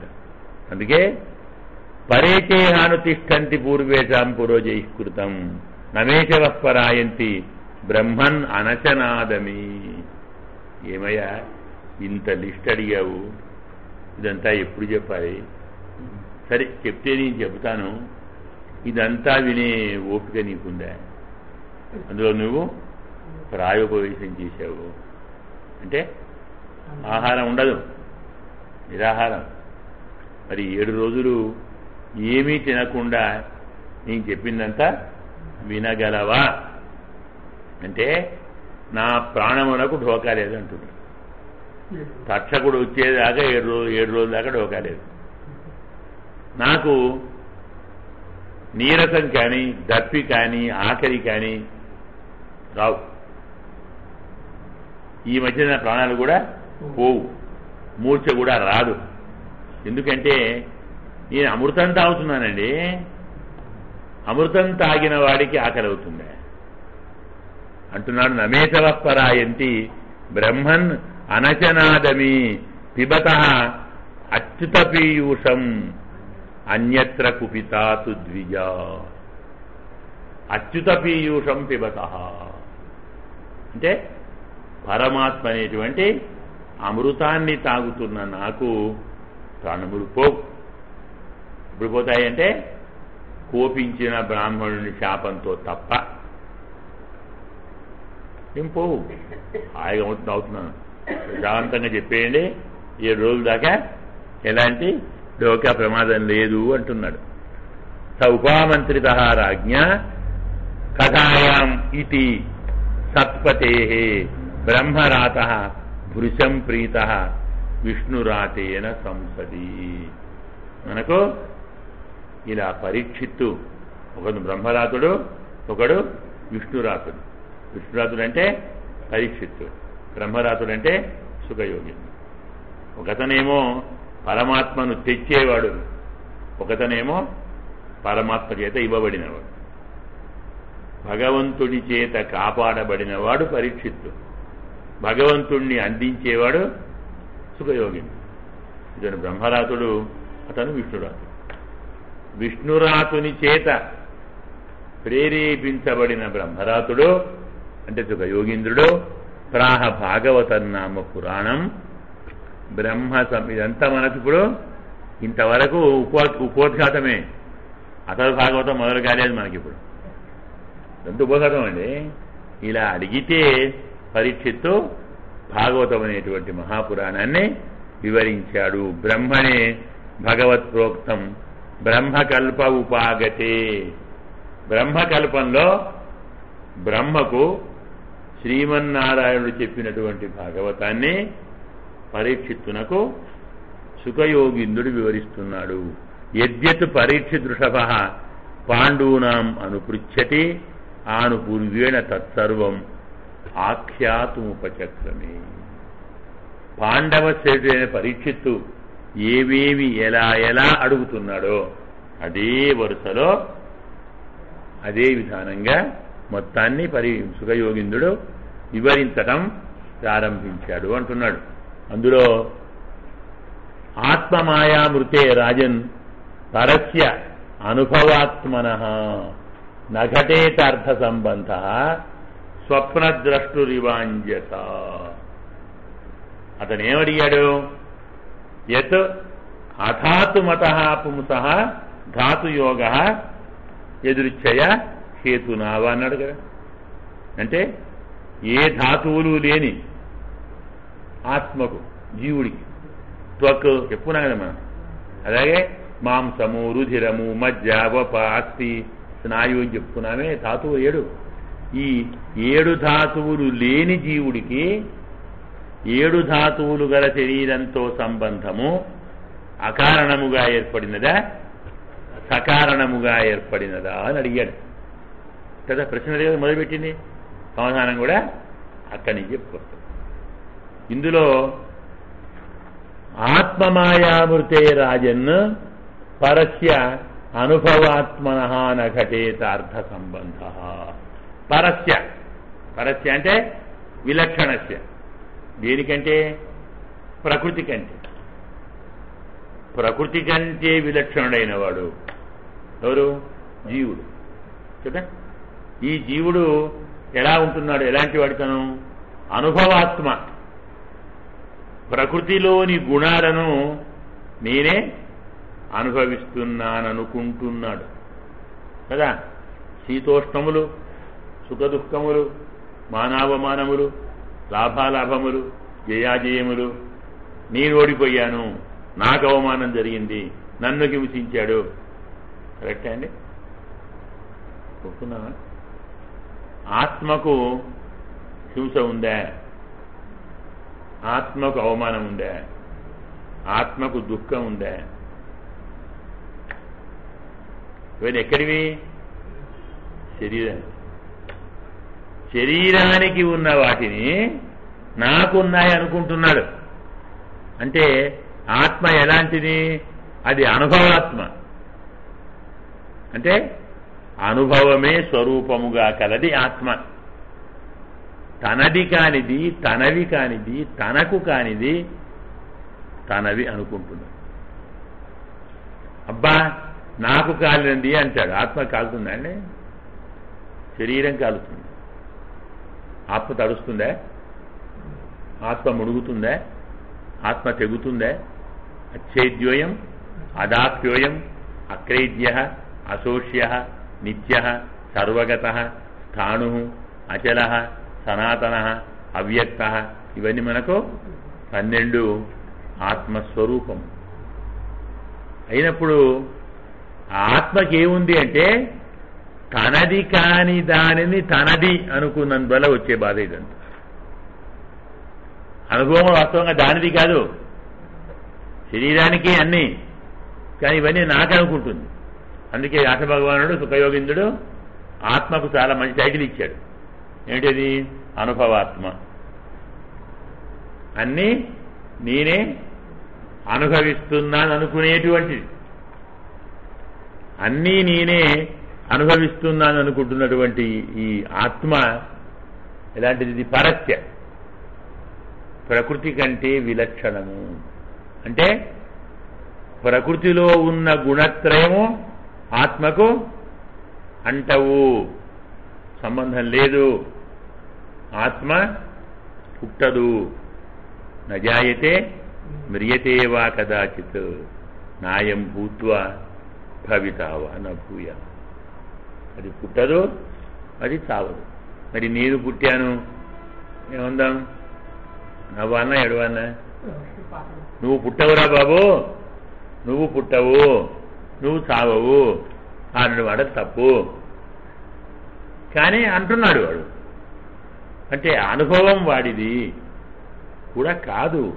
తనది అనుకుంటున్నాడు అందుకే అనుభవాత్మన నఘటేత అర్థ సంబంధ అర్థం అంటే విషయం శరీరం. ప్రకృతి కంటే విలక్షణమైన ప్రకృతి యొక్క గుణములను అనుభవిస్తున్నాను అనుకుంటున్న జీవుడికి శరీరముతో సంబంధము కుదరదు. ఎప్పుడు ఆత్మమాయామూర్తే. పరమాత్మ యొక్క మాయ అంటే ఏమిటి? ప్రకృతి. ప్రకృతి లేకుండా జీవుడికి శరీరముతో సంబంధము కుదరదు. కదా? అంటే సంబంధము సహేతుకమా నిష్కేతుకమా? సహేతుకమే. కారణం ఉంది. తనది కాని ప్రకృతిని తనది అనుకుంటున్నాడు. ప్రకృతితో సంబంధాన్ని కల్పించుకోవటం వల్లనే జీవుడికి శరీర సంబంధం ఉంటున్నది. అది లేదనుకో ఇది లేదు. నాకు సంబంధం లేదు అనుకుంటే సంబంధం లేదు. శరీరం లేదు. జన్మ లేదు. మరణం కూడా లేదు. కానీ ఆ ప్రకృతి యొక్క వికారములను తనవి అనుకుంటున్నాడు. ప్రకృతి గుణములను కూడా తనవి అనుకుంటున్నాడు. అంటే జీవుడికి శరీర సంబంధము సహేతుకమే. నిర్హేతుకము కాదు. ఆత్మమాయామృతే రాజన్ పరస్య అనుభవాత్మన నఘటేతార్థ సంబంధ ఎలాగంటే స్వప్నద్రష్టురివాంజస. మనం పడుకున్నాం. కల వచ్చేసింది కలలో రథములు ఎక్కాం గుర్రములు ఎక్కాం ఏనుగులు ఎక్కాం కోటలు ఎక్కాం బీటలు ఎక్కాం గోడలు ఎక్కాం కదా? సన్మానాలు అవమానాలు ఓ ఎన్ని గోలలు ఎన్నో జరిగాయి. కదా? అవన్నీ ఉన్నట్ట లేనట్ట. ఏముందాం? చూశామండి లేకపోవడం ఏంటి? నేను గుర్రం ఎక్కాను ఏమనుకుంటున్నారు మీరు? అంటాడు రథం ఎక్కాను ఎరుగు ఎక్కాను గుర్రం ఎక్కాను. ఇంకా విచిత్రం ఏంటంటే ఎవరో నా తలకాయ నరికేశారండి అని చెప్పేస్తాడు. నువ్వు పెట్టున్నావురా బాబు? కలదండి ఏం చేద్దాం? ఇప్పుడు ఇవన్నీ చూడటానికి ఎవరు కారణం? ఇంకా ఉన్నవా లేవా? స్వప్నంలో గుర్రాలు రథాలు ఏనుగులు ఖడ్గములు ఆయుధములు ఉన్నాయా లేవా? ఉన్నాయి ఏమున్నాయి మనం అనుభవించాం ఎక్కువ బాబు బాగుంది కానీ మనం ఎక్కడ ఉన్నాము అప్పుడు. సమస్య ఏంటంటే అనుభవించే మనం ఎక్కడున్నాము. అనుభవించబడే వస్తువులు ఎక్కడున్నాయి? ఇవన్నీ మన అనుభవాలే అంటాడు అనుభవాలంటే మన ఆశలే. మనము వేరు వేరు సమయాలలో ఏవేవి కావాలని కోరుకుంటామో మనస్సుకు వేటితో ఘనిష్టమైనటువంటి సంబంధం అంటిపెట్టుకొని ఉంటుందో అది ఇక్కడ పొందలేం కాబట్టి అక్కడ పొందుతాం. నేను కూడా రాజునైపోయాను సంతోషం అయిపోయింది. వాడు ఏనుగు ఎక్కాడు గాడిది ఎక్కాడు గుర్రం ఎక్కాడు అన్నీ ఎక్కాడు ఇంకేం కావాలి వాడికి? అమ్మా అయిపోయింది. ఇప్పుడు ఇది ఎక్కడిది? ఆ ఏనుగులు ఆ గుర్రములు ఆ రథములు ఆ భోగములు అవమానములు ఆ హింసలు ఎక్కడిది? ఎవడిది వీడి అనుభవమే. వీడి సంబంధమే. న్యాయంగా ఈ శరీరానికి ఏం లేదు? కదా? పోనీ మనస్సుకు? కూడా లేదు. ఆత్మకు? అసలు లేదు. మరి ఎవరికి ఉన్నట్టు? అంటే శరీరము మనస్సు కలిసి ఉన్నప్పుడు నీవు తలంచిన తలంపులు ఉన్నాయే విశ్రమిస్తున్నప్పుడు అవి పొందుతాయి. నా కళ బాగా వచ్చింది అంటే అర్థము నేను బాగా నిద్ర పోయాననే పోలేదని. ఏం చెప్పుకున్నామండి? అస్సలు నిద్ర పట్టలేదు అని అర్థం. స్వప్నం కళ నిద్రపోతే రాదు. నిద్ర వేరు స్వప్నం వేరు జాగ్రత్త వేరు. కళ వచ్చినది అంటే నిద్ర రాలేదని అర్థం. అనారోగ్యానికి వేడి సూచన. నిద్ర అంటే ఏంటి? సౌండ్ స్లీప్ ఏదో స్లీప్ అంటాం కదా. ఏది ఏముండదు అప్పుడు అంతే. ప్రళయం వచ్చినా కానీ ఎవడో వచ్చి గట్టిగా కొడితే అప్పుడు లేస్తారు. అందాక పిలిచినా లేవడు తలిచినా లేవడు ఊపినా వచ్చి నిండినా పోయారే? లేదా వచ్చి ఊపాలి అప్పుడు లేస్తాడు అది నిద్ర. కానీ నీవు కలగంటున్నావంటే మేలుకొని ఉన్నావని అర్థం. మేలుకొని అంటే పూర్తిగా జాగ్రత్త కాదు. మగత నిద్ర అంటాం. కలత నిద్ర అది. తాటిస్తే కల నిద్ర. అంతే కదా? ఆలోచించండి వాస్తవానికి. అందువల్ల నీవు ఇహలోకంలో ఉన్నప్పుడు వేటి వేటిని ఏ ఏ రూపంలో ఎలా పొందాలి ఎలా చేయాలి అనుకుంటావో అవన్నీ అందుకే మనకు ప్రతాపరుద్రియం. చదివి ఉంటే జ్ఞాపకం ఉంటే అతను పరిహాసేపి అనౌచిత్యం స్వప్నేపి అన్యవధూ కథాం. అలాగే శత్రావపి అగుణారూపం కాకతీంద్ర నమృష్యతి అంటాడు అంటే పరిహాసం ఆడుతున్న ఔచిత్యాన్ని తప్పరట. తప్పకూడదు. ఎంత పరిహాసం అన్నాక ఏదో ఉండదు కదా అలాగే స్వప్నేపి అన్యవధూ కదా కలలో కూడా పరస్త్రీ సంగమాన్ని కలలో కూడా పొందని వాడు అంటే నూటికి తొంభై మందికి ఈ జబ్బు ఉంటుంది. కదా? ఇళ్ళలో ఏముండదు? తాను ఏ సౌందర్యాన్నో ఏ స్త్రీనో మోహించడమో కామించడమో మన ఇప్పుడు కొత్త బాధ ఏంటది? ప్రేమించడం. అంటున్నాడు కదా? ప్రేమ కాదు వేరే సంగతి. కానీ ఇలా ఏమేమి అనుకుంటున్నాడో ఇవన్నీ వాడు ఇక్కడ ఇళ్ళలో చేయలేని వాటిని కళలో పొందుతున్నాడు. ఉన్నట్ట లేనట్ట? అలాంటిదే సంబంధం. లేని వస్తువులు స్వప్నంలో ఎలా మనం చూడగలుగుతున్నాము పొందగలుగుతున్నాము? దేనితో? అనుభవంతో ఆలోచనతో ఆశతో.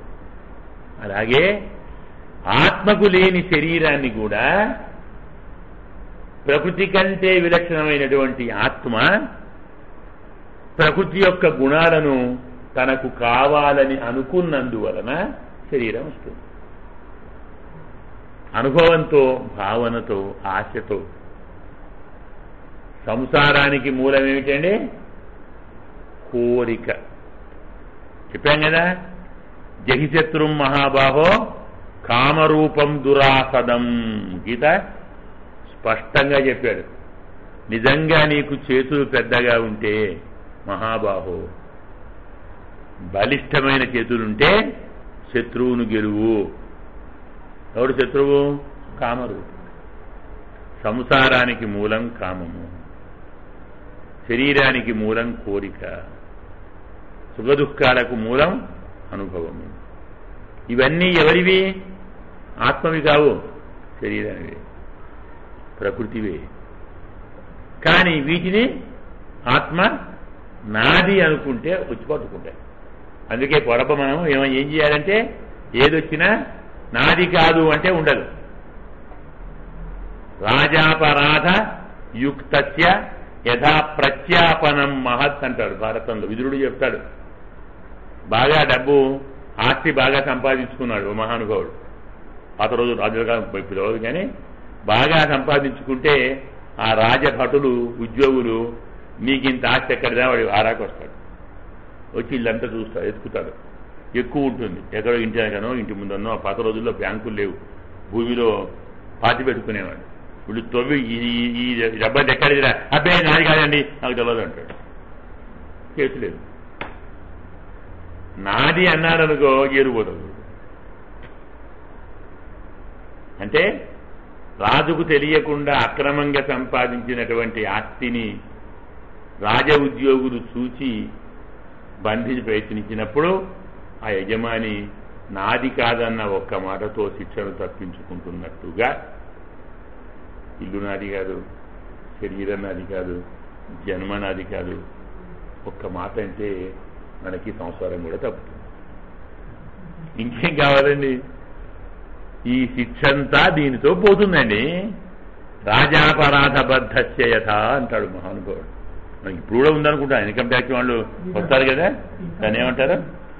ఆ, రైట్ వచ్చి చూస్తే వాడి నాది కాదన్నాడు అనుకోండి వాడిని ఏమని ఏం చేయరట వదిలిపెట్టే పని పోతా వెళ్ళిపోతాను డబ్బు తీసుకొని పోతారు దాన్ని తీసుకొని నీది కాదు కదా ఇక్కడ కలిసి పోతాడు పోతే పోయింది శిక్ష తప్పింది బాధపడతాడు. కాబట్టి అన్ని శిక్షలకు నివారణ ఉపాయం ఒకటే నాది కాదు. రెండవది నేను కాదు. ఈ రెండు అనుకుంటేనే దేహ సం- దేహ సంబంధమునకు కారణములని చాలా స్పష్టంగా చెప్తున్నాడు. అందుకే నఘటేతార్థ సంబంధ స్వప్నద్రష్టురివాంజత. బహురూప ఇవ భాతి మాయయా బహురూపయా రమమాణ గుణేష్వస్య మమాహమితి మన్యతే. జీవుడు ఏ రూపము లేని జీవుడు అన్ని రూపాలు నావే అనుకుంటాడు. బహురూప ఇవ ఆపాతి. కొంత కొంతకాలం నేను మనిషిని నేను దేవతను నేను స్త్రీని నేను పురుషుణ్ణి నేను శిశువును నేను వృద్ధుణ్ణి నేను పశువును నేను మృగమును. కరెక్టా? వాడు ఏమీ కాదు అసలు. ఈ రూపాలన్నీ ఎవరివి? వాడివే. ప్రకృతివి. ఏ రూపము లేని జీవుడు బహురూప ఇవ ఆపాతి అన్ని రూపములు కలవాడిగా అనిపించుకుంటాడు. ఎందువల్ల? మాయయ. మాయ అంటే ప్రకృత్య. కొనుక్కున్నాడు మాయయ బహురూపయ. అనేక ప్రకృతితో రూపములున్న ప్రకృతితో సంబంధం ఏర్పరచుకుంటే రూపము లేని జీవుడు రూపములు ఉన్నవాణిలా అనిపిస్తాడు. బహురూప ఇవా భాతి మాయయ బహురూపయ రమమాణ గుణేషు అత్య. ఎందుకయ్యా అంటే వాడు దూరంగా ఉంటే బాధ లేకపోయేది కానీ ప్రకృతి యొక్క గుణములలో వీడు రమిస్తుంటాడు. ఇది సత్వము ఇది రజస్సు ఇది ఆహాహా ఆ మందారం బాగుంది ఈ ఈ మేరు పర్వతం బాగుంది అక్కడ హిమాచలం బాగుంది. అక్కడ మనకు కథ చెప్తాడు. అదేమిటి? మోహిని రుక్మాంగద మోహిని చరిత్ర. మరి అలాంటివి. అలాగే సారంగధరుడు ఉన్నాడు మనకు. పెద్ద ఎవరు? రుక్మాంగదుడు పరమభక్తాగ్రేశ్వరుడు ఏకాదశి వ్రతాన్ని తన రాజ్యం అంతటా తాను ఒక చేయడం కాదు రాజ్యం మొత్తం జరిపించిన మహానుభావుడు. ఏకాదశి నాడు పశువులు గడ్డి తిమ్మేయకూడదు శిశువులు పాలు తాగకూడదు. ఇష్టం లేదా చేయడం? రాజ్య బహిష్కారం. ఆర్డినెన్స్ అండి అంటే అందరూ చేశారు పాపం. రాజ్యపాలన జ్ఞాపకం ఉంది అనుకుంటాను అందరూ చేస్తే యముడు రాజీనామా చేశాడు ప్రభు దగ్గరికి వచ్చి. నా దగ్గరికి ఎవడు రావటం లేదు మరి ఏం చేస్తామని అక్కడ మీకు తెలుసు. అయితే రుక్మాంగదునితోటి ఏకాదశి వ్రతాన్ని మానిపించడానికి నువ్వు ప్రయత్నం చేస్తానంటే నేను పోస్టు తీసుకుంటా పని చేస్తా. లేకుంటే విజయం సరే ప్రయత్నం చేస్తాను అది నాడబోయేట్టు కాదది మా మా నాన్నగారిది అది. ఆయన ఆయన దగ్గర అన్ని సాగుతాయి కానీ భక్తులతో ఆటలాడితే మాత్రం ఆయన అస్సలు ఊరుకోడు. ఏం చేస్తావు సరే? నువ్వు వచ్చావు కదా? అని ఈ మహానుభావుడు వేటకు వెళ్ళినప్పుడు మందర పర్వతం మీద మోహిని సృష్టించాడు బ్రహ్మ. తనలోకాన్ని అనుకోండి. మోహిని సౌందర్యం ఎంత గొప్పదంటే సృష్టించిన బ్రహ్మే ఆమెను చూడగానే కళ్ళు మూసుకున్నాడు. ఒక రెండు క్షణాలు కళ్ళు మూసుకొని తరువాత కళ్ళు తెరిచాడు. ఆత్మభావ అనుభావేన నిమీలియ అంటాడు. పరమాత్మ యొక్క స్వరూపాన్ని తలుచుకొని కళ్ళు తెరిచాడు. నాన్నగారు నేనేం చేయాలి? నా పేరేమిటి? అంటే నీ పేరు మోహిని. అంటే అది నాకు తెలుసులేండి అని అదేంటమ్మా? అంటే మీరే కళ్ళు మూసుకున్నారు కాబట్టి నా పేరు మోహిని ఇంకేమవుతుంది లేండి ఈ మోహంతో ఈ స్వరూపంతో ఫలాని వాడిని నీవు మోహింపజేయాలి. నువ్వు చేసి వాళ్ళే చూస్తే వాడే మోహిస్తాడు. వాడు నిన్ను కోరుతాడు భార్య ఉక్కమ్మని భార్య ఉక్క అయ్యే ముందు కండిషన్స్ మన కండిషన్ కాకుండా కండిషన్స్ తోటి భార్య ఉక్క. ఈ కథ మనకి ఏం చెబుతుంది? రాజ్యము భార్య పిల్లలు ధర్మము పరమాత్మ వ్రతము నియమము ఇలాంటివన్నీ ఉన్నటువంటి మహానుభావుడు తన పని తాను చేసుకొని వస్తే అడిగేవాడేవాడు లేడు.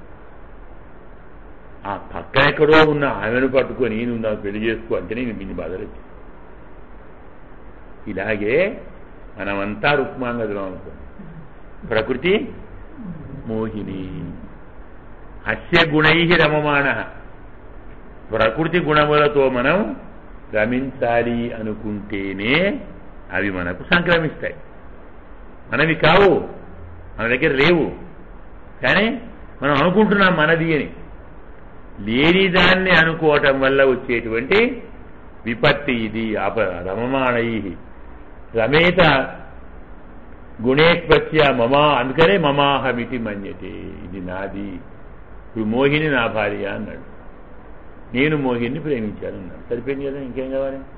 ఆ రెండు వచ్చాయంటే అయితే ఆ మహానుభావుడు మాత్రం ఆమె మోహింపజేసిందే తప్ప ఆమె చెప్పినట్టు వాడు విల్లే భోజనం చేయి ఏకాదశి నాడు క్వశ్చన్ ఏది పొమ్మన్నాడు? చేయని పొమ్మన్నాడు. ధర్మం తప్పుతుంది తప్పని పొమ్మన్నాడు. తప్పితే ఏమవుతుంది ఏమవుతుంది నరకం వస్తుందా? రాని? ఏకాదశి ఆచరించాలి నరకటి వస్తుందండి? వచ్చి రాని చూద్దాం. అంటే ఆ స్థిత ప్రజ్ఞత కావాలి. మనం ప్రకృతిలోనే ఉన్నాం. మనం దూరంగా ఉండాలనుకున్నా ప్రకృతి మనను దూరంగా ఉంచదు. తనలోకి లాక్కుంటుంది. మనం దానిలోకి వెళతాం. కానీ ఇదంతా నాది కాదు. ఆయన మాయ. ఆ భావనతో మనను ప్రకృతి బంధించలేదు. ఎరిహివావ మహిమ్నిస్వే పరస్మిన్ కాలమాయయోహో రమేతగత సమ్మోహ శక్తోదాస్తే తదోభయం. మనము కాలముతోటి మాయతోటి ఈ రెండితో మనం బంధించబడుతున్నాం వశమవుతున్నాం. ఒకటేమో కాలం రెండోది ప్రకృతి. మనకు పెద్ద భయం ఏమిటి అందరూ పుట్టాలని కోరుకుంటున్నారు పుడతారు. పుట్టుకతో పాటు మార్పులు వస్తుంటాయి శిశువు అంటాము బాలుడు అంటాము కుమారుడు అంటాం యువకుడు అంటాం నెక్స్ట్ చేయి వృద్ధుడు అంటాం అక్కడ పట్టుకుంటుంది అయ్యో నేను వృద్ధుని అయిపోతున్నా నేను వృద్ధుడు అయిపోతున్నా నా వల్ల కావటం లేదు నాకు ఎద కావటం లేదు. అప్పుడే పనులు చేత కాకుండా అయిపోయింది ఏం పని చేయలేకపోతున్నాను. ఈ అరవై ఏళ్ళు డెబ్బై ఏళ్ళు చేసిన వాళ్ళు చాలదా ఇంకేం చేయాలి? ఇంకెందుకు చేయాలి? ఊరుకోరాదు.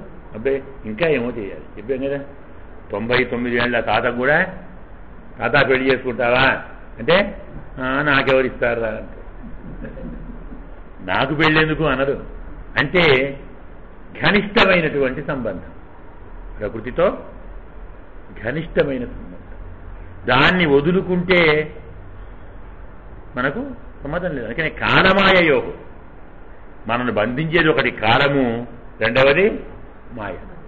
ఈ రెంటిని గెలవాలంటే స్వేమహిమ్ని పరమాత్మ యొక్క ప్రభావంలో మనం ఉండగలిగితే ఆత్మ యొక్క స్వస్వరూపాన్ని అనుసంధానం చేసుకోగలిగితే నిరాకారము నిర్గుణము అని అనుకుంటే ఏ సంబంధం లేదు.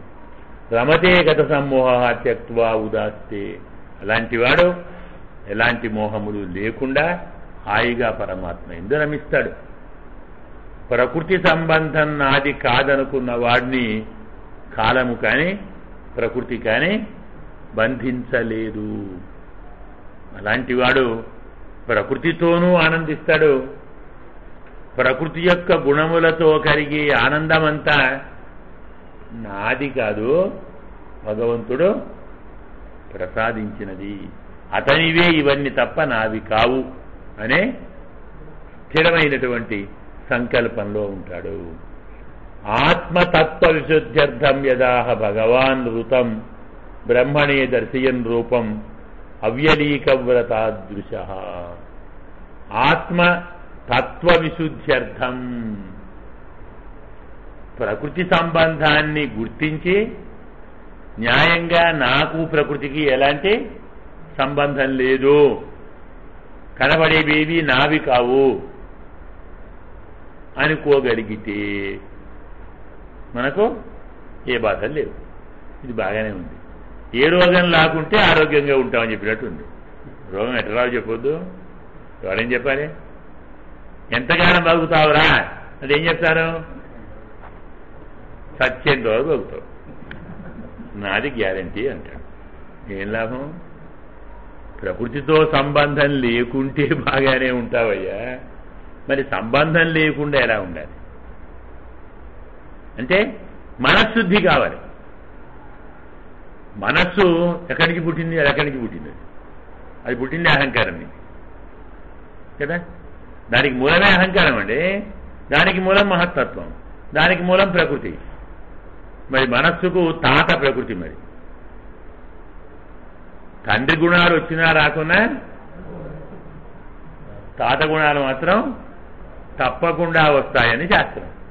మరి అయినప్పుడు ఇక మనస్సుకు ఆశ లేకుండా కోరిక లేకుండా కామం లేకుండా అహంకారం లేకుండా మమకారం లేకుండా ఎలా ఉంటాయ్యా ఎలా మనస్సు పరిశుద్ధిగా ఉంటుందంటే చెప్తున్నాడు ఆత్మతత్వ విశుద్ధ్యర్థం. అది నేను చెప్పడం కాదు నాయన బ్రహ్మకు పరమాత్మ చెప్పాడు.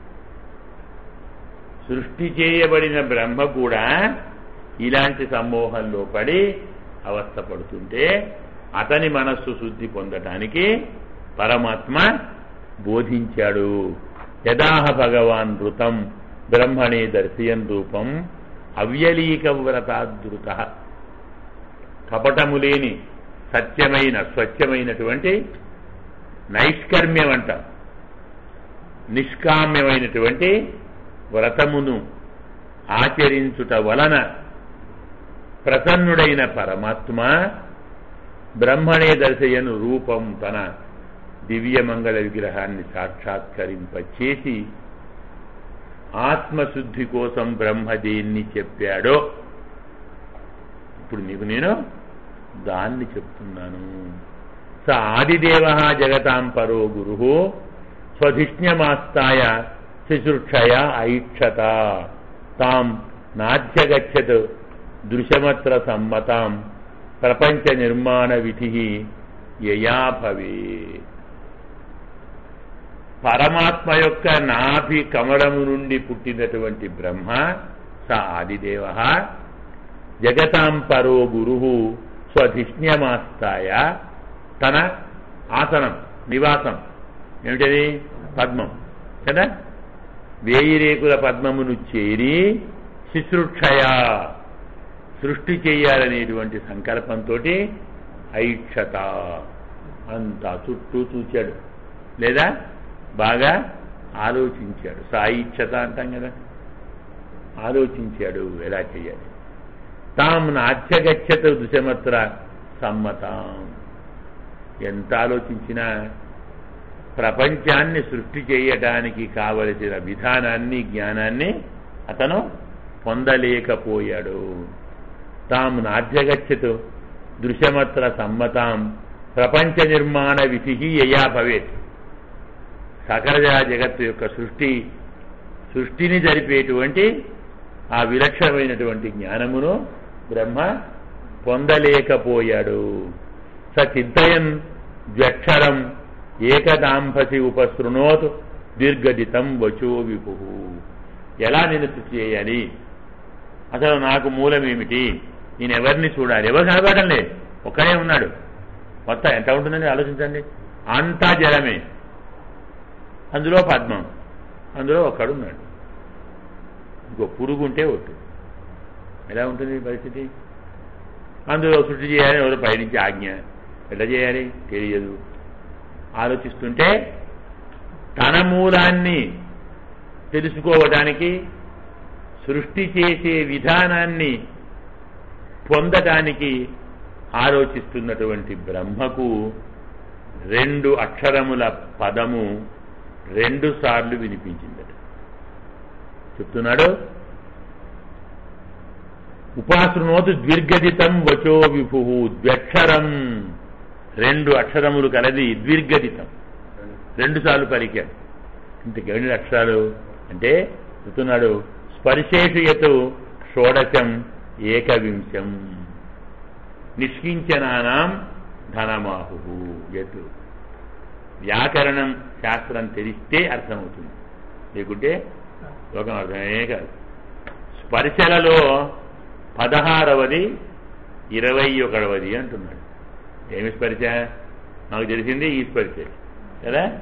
కానీ వ్యాకరణంలో కాదయో మావసానా స్పర్శ అని ఒక సూత్రం. అంటే కా నుంచి మా వరకు ఉన్న ఇరవై అక్షరాలు ఉన్నాయే వీటిని స్పర్శలు అంటారు. అంటే కచటట పలు ఐదు వర్గాలు అంటాం. కా చా టా తా ప. కవర్గ చవర్గ కవర్గ కవర్గ పవర్గ. వర్గ అంటే ఐదు అక్షరాలు. ఐదు అక్షరాలు ఉండేటువంటి వర్గాలు ఐదు. అంటే మొత్తం ఎన్ని? ఐదు ఐదులో? ఈ ఇరవై ఐదు అక్షరాలకు స్పరిశలు అని పేరు. అది కానించి మొదలవుతుంది. ఇప్పుడు కానించి లెక్క పెట్టుకుంటూ వెళ్ళి పదహారవ అక్షరం చూడండి. కా ఖ గా ఘ ङ చా ఛ జా ఝ ఞ. ఠ డా ఢ తర్వాత ఏది? త. పదహారవది త. తర్వాత ఏం కావాలి? ఇరవై ఒకటి. కదా తా దా థ నా తర్వాత ప. కాదు? ఒకటి తా రెండోది ప. కలిపితే తప. ఇది కూడా రెండు సార్లు. తపస్తప తప. తప తపస్తప ఇది వినవచ్చింది. అది. అంటే తపస్సును చేయి తపస్సు చేయి అని ఆజ్ఞ వచ్చేసింది. ఇది తెలిగితే దొరకను నేను. అంత సులభం కాదు. తపస్సు చేయి. ఈ పదహారవ అక్షరం ఇరవై లక్షలు. ఈ రెండు లక్షలు కలిపితే ఏమవుతున్నది మనకు? తపస్సు కదండి. అదంతా గొప్పదా అంటే నిష్కించనానాం. అని చెప్తున్నాడు. నిష్కించనానాం నృపయత్ ధనం విదుహు. ఏమి దరిద్రులకు ఇదే ధనం అట దరిద్రులు అంటే ఏ దరిద్రులు? సాంసారిక విషయ భోగ వాసన శూన్యుడు నాది అంటూ ఏదీ లేదనుకునే వారికి ఇదే ధనం నిష్కించిన అన్యథా శరణం నాస్తే త్వమేవ శరణం పరమాత్మను చేరటానికి కావలసిన ఏ సాధనము లేని వాళ్ళు నిష్కించనులు. ఆళ్వందారు అంటారు అకించన అనన్యగతి శరణ్య త్వత్పాదమూలం శరణం ప్రపజ్యే. మరి మరేమిటి అకించన. అంటే నాది అని చెప్పుకోవటానికి కావలసినది ఏది నా దగ్గర లేదు. అలాంటి వాడిని స్వామి తొందరగా లాక్కుంటాడు. నాకున్నాయన్నాం అనుకోండి అవన్నీ వదిలిపెట్టినాక రమ్మంటాడు. ఒక్కొక్క దాన్ని తీసి పారేస్తుంటే లెక్క పెడుతుంటాడు ఇంకెన్ని ఉన్నాయో ఎంతసేపు నేను రెస్ట్ తీసుకోవచ్చు ఆయన చూస్తుంటాడు. మేము మొదలే అయ్యా నాకేమీ లేదు నువ్వే దిక్కు. నీవే తప్ప ఇతపరం బెరుగా అనుకునే వారికి ఏది నిజమైన ధనము? ఏ ధనము తపస్సు.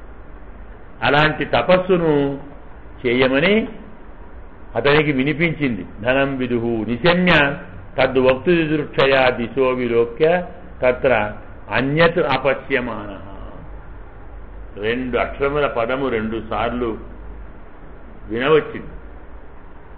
వినగానే ఏమని మనం ఇవి వినవచ్చిందంటే ఎవరో మాట్లాడేవాళ్ళు ఉండాలి కదా మరి వాడెక్కడున్నాడు అని ఒక వెయ్యి ఏళ్ళు వెతికారు. పాపం స్వామి ఎక్కడ దొరకలేదు. ఎందుకు వచ్చిన బాధ? ఆయన చెప్పినట్టే విందాం? చెప్పినట్టు వింటేదన్నా ఆయనే కనబడతాడేమో. మరి కమలాంటిదో కండిషన్ ఏమో మనకేం తెలుసు? అని అప్పుడు అన్యదపత్యమాన స్వధిజ్ఞమాస్తాయ విమృశ్య తద్ధితం తపస్సుపాదిష్ట ఇవ ఆదతే మన. చూచి ఏమి దొరకక మళ్ళీ తన ఆసనాన్నే తాను చేరి ఉపదేశించిన విధానం అనుసరించి తపస్సులో కూర్చున్నాడు. అంటే తపస్సును ప్రారంభించాడు. దివ్యం సహస్రాబ్దం అమోఘ దర్శన అజితానిలాత్మ విజితే విజిత ఉభయేంద్రియ. అప్పుడు నాకు అన్ని వచ్చాయి కదా మరి? అందుకే ఒక దివ్యమైనటువంటి వేయి సంవత్సరములు అమోఘ దర్శన. సఫలమైనటువంటి జ్ఞానముకర మహానుభావుడు జితానిలాత్మా అంటే ప్రాణాయామ పరుడై అనిలం అంటే వాయువు. వాయువును గెలిచాడు. అంటే వాయువు నిలవం చేశాడు. అదొకడే కాదు విజిత ఉభయేంద్రియ. జ్ఞానేంద్రియములను కర్మేంద్రియములను కూడా గెలిచిన వాడై అతప్యత అఖిలలోక తాపనం తపస్తపీయాంస తపతాం సమాహిత. అఖిలలోక తాపనమట. అన్ని లోకములను తపింపజేసే తపస్సు. అంటే అన్ని లోకములను సృష్టింపచేయగల తపస్సు. కదా? తపస్సు ఏంటండి? రూపం ఏర్పడే దేనితోటి? అగ్ని సంయోగాత్ రూపం కదా? ఒక రూపం ఏర్పడాలన్నా ఒక రూపం మారాలన్నా రూపమే కాదు రూపము కానీ రసము కానీ స్పర్శ కానీ గంధం కానీ ఇవన్నీ మారేది దేనితోటి? ఎందుకండి పాకం. అగ్ని కదా. అగ్ని స్పర్శ ఉంటేనే అన్ని మారుతాయి. కాయ పండు అవుతుంది. కదా? ఎట్లా అవుతుంది పండిదంటే పాకం. రూపం మారిందా? రంగు మారింది. అది రూపం రంగే. రసం మారుతుందా స్పర్శ మారుతుందా కాయ ఎప్పుడేమో గట్టిగా ఉంటుంది. పండు మెత్తగైపోతుంది. రసం మారుతుందా కాయ ఒకరు పులుపు ఉంటుంది. పండు తీయగవుతుంది ఇవన్నీ దేంతో తాపంతో అగ్నితోటి. అందుకే ఏమన్నాడు? తపస్సు కోసం అఖిలలోక తాపం అన్నాడు. అంటే అన్ని లోకములను సృష్టించుటకు. సకల లోకములను సృష్టించుటకు కావలసిన తపస్సు చేశాడు. అతప్య తస్మ అఖిల లోక తాపనం తప తపీయాన్ తపతాం సమాహిత. తపములో చాలా శ్రేష్ఠుడు. తపస్సుతోటి సావధానాన్ని పొంది తపస్సు యొక్క మూల రూపాన్ని దర్శించగల మహానుభావుడు దర్శింపచేయగల వాని కోసం తపస్సును ఆచరించాడు. తపతాం సమాహిత.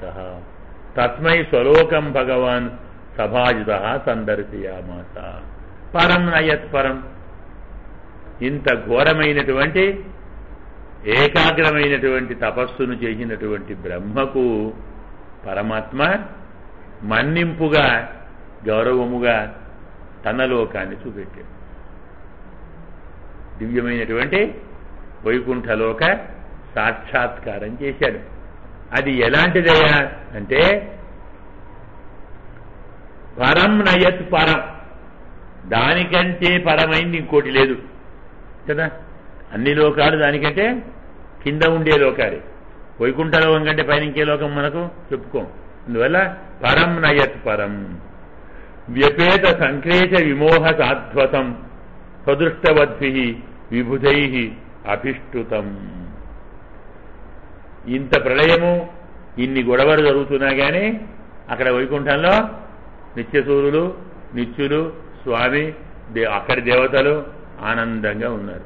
వాళ్ళు కీర్తిస్తున్నారు ఈయన కీర్తనలు పొందుతున్నాడు వాళ్ళు కైంకర్యం చేస్తున్నారు ఈయన కైంకర్యం పొందుతున్నాడు అదంతా మామూలే.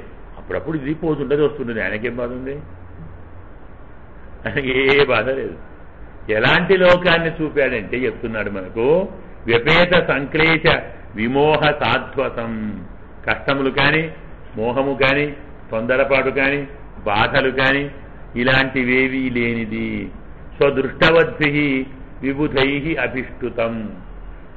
తనకు కనపడిన దేవతల చేత స్తోత్రము చేయబడుతున్నది. ఎవరండి ఇక్కడ విభుధులంటే నిత్యసూరులు కదా?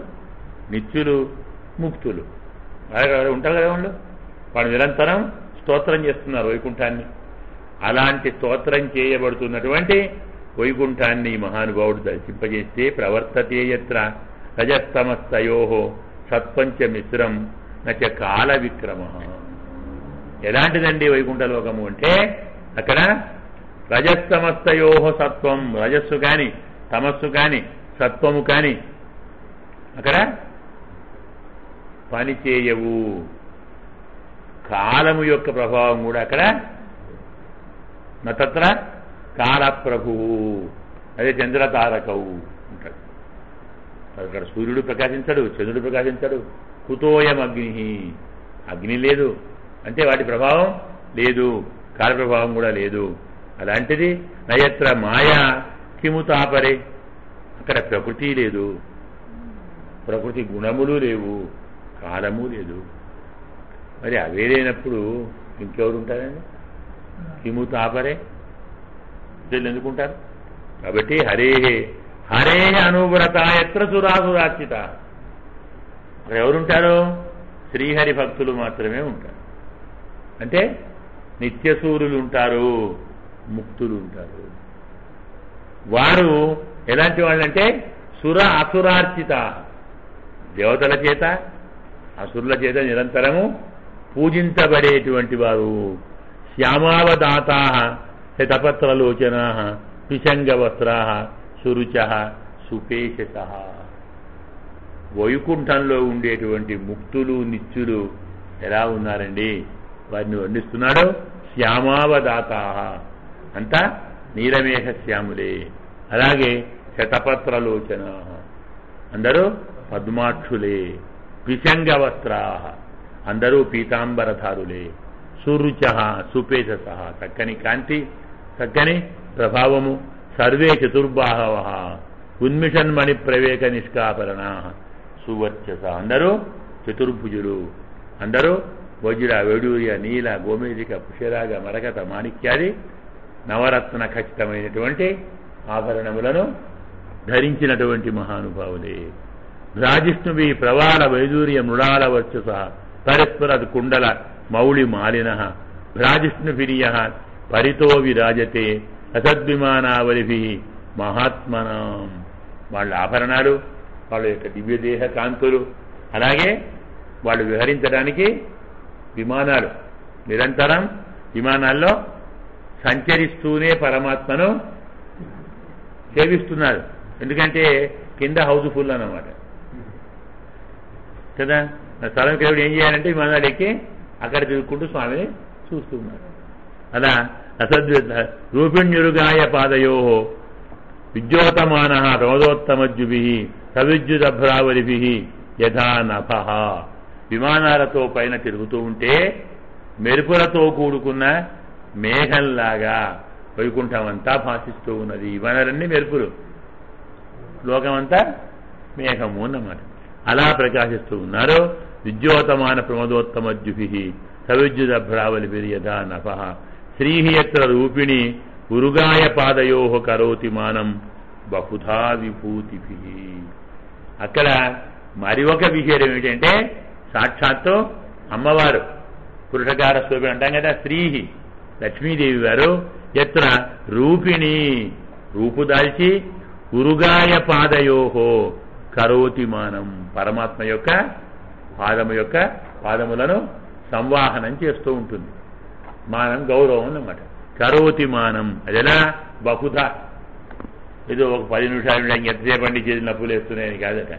బహుధ విభూతి అన్ని రకములుగా అన్ని విభూతులతో. తన దగ్గర ఉన్నటువంటి సకల విభూతులతో కలిసి పరమాత్మ యొక్క పాదములను గౌరవిస్తూ ఉంది పూజిస్తూ ఉంది మన్నిస్తూ ఉంది. విభూతి ప్రేంఖం శ్రితాయ కుసుక కుసుమాకరానుగై విగీయమాన ప్రియకర్మ గాయతి. ఆమె ఎక్కడుందయ్యా అంటే అమ్మవారు ఎక్కడుంది?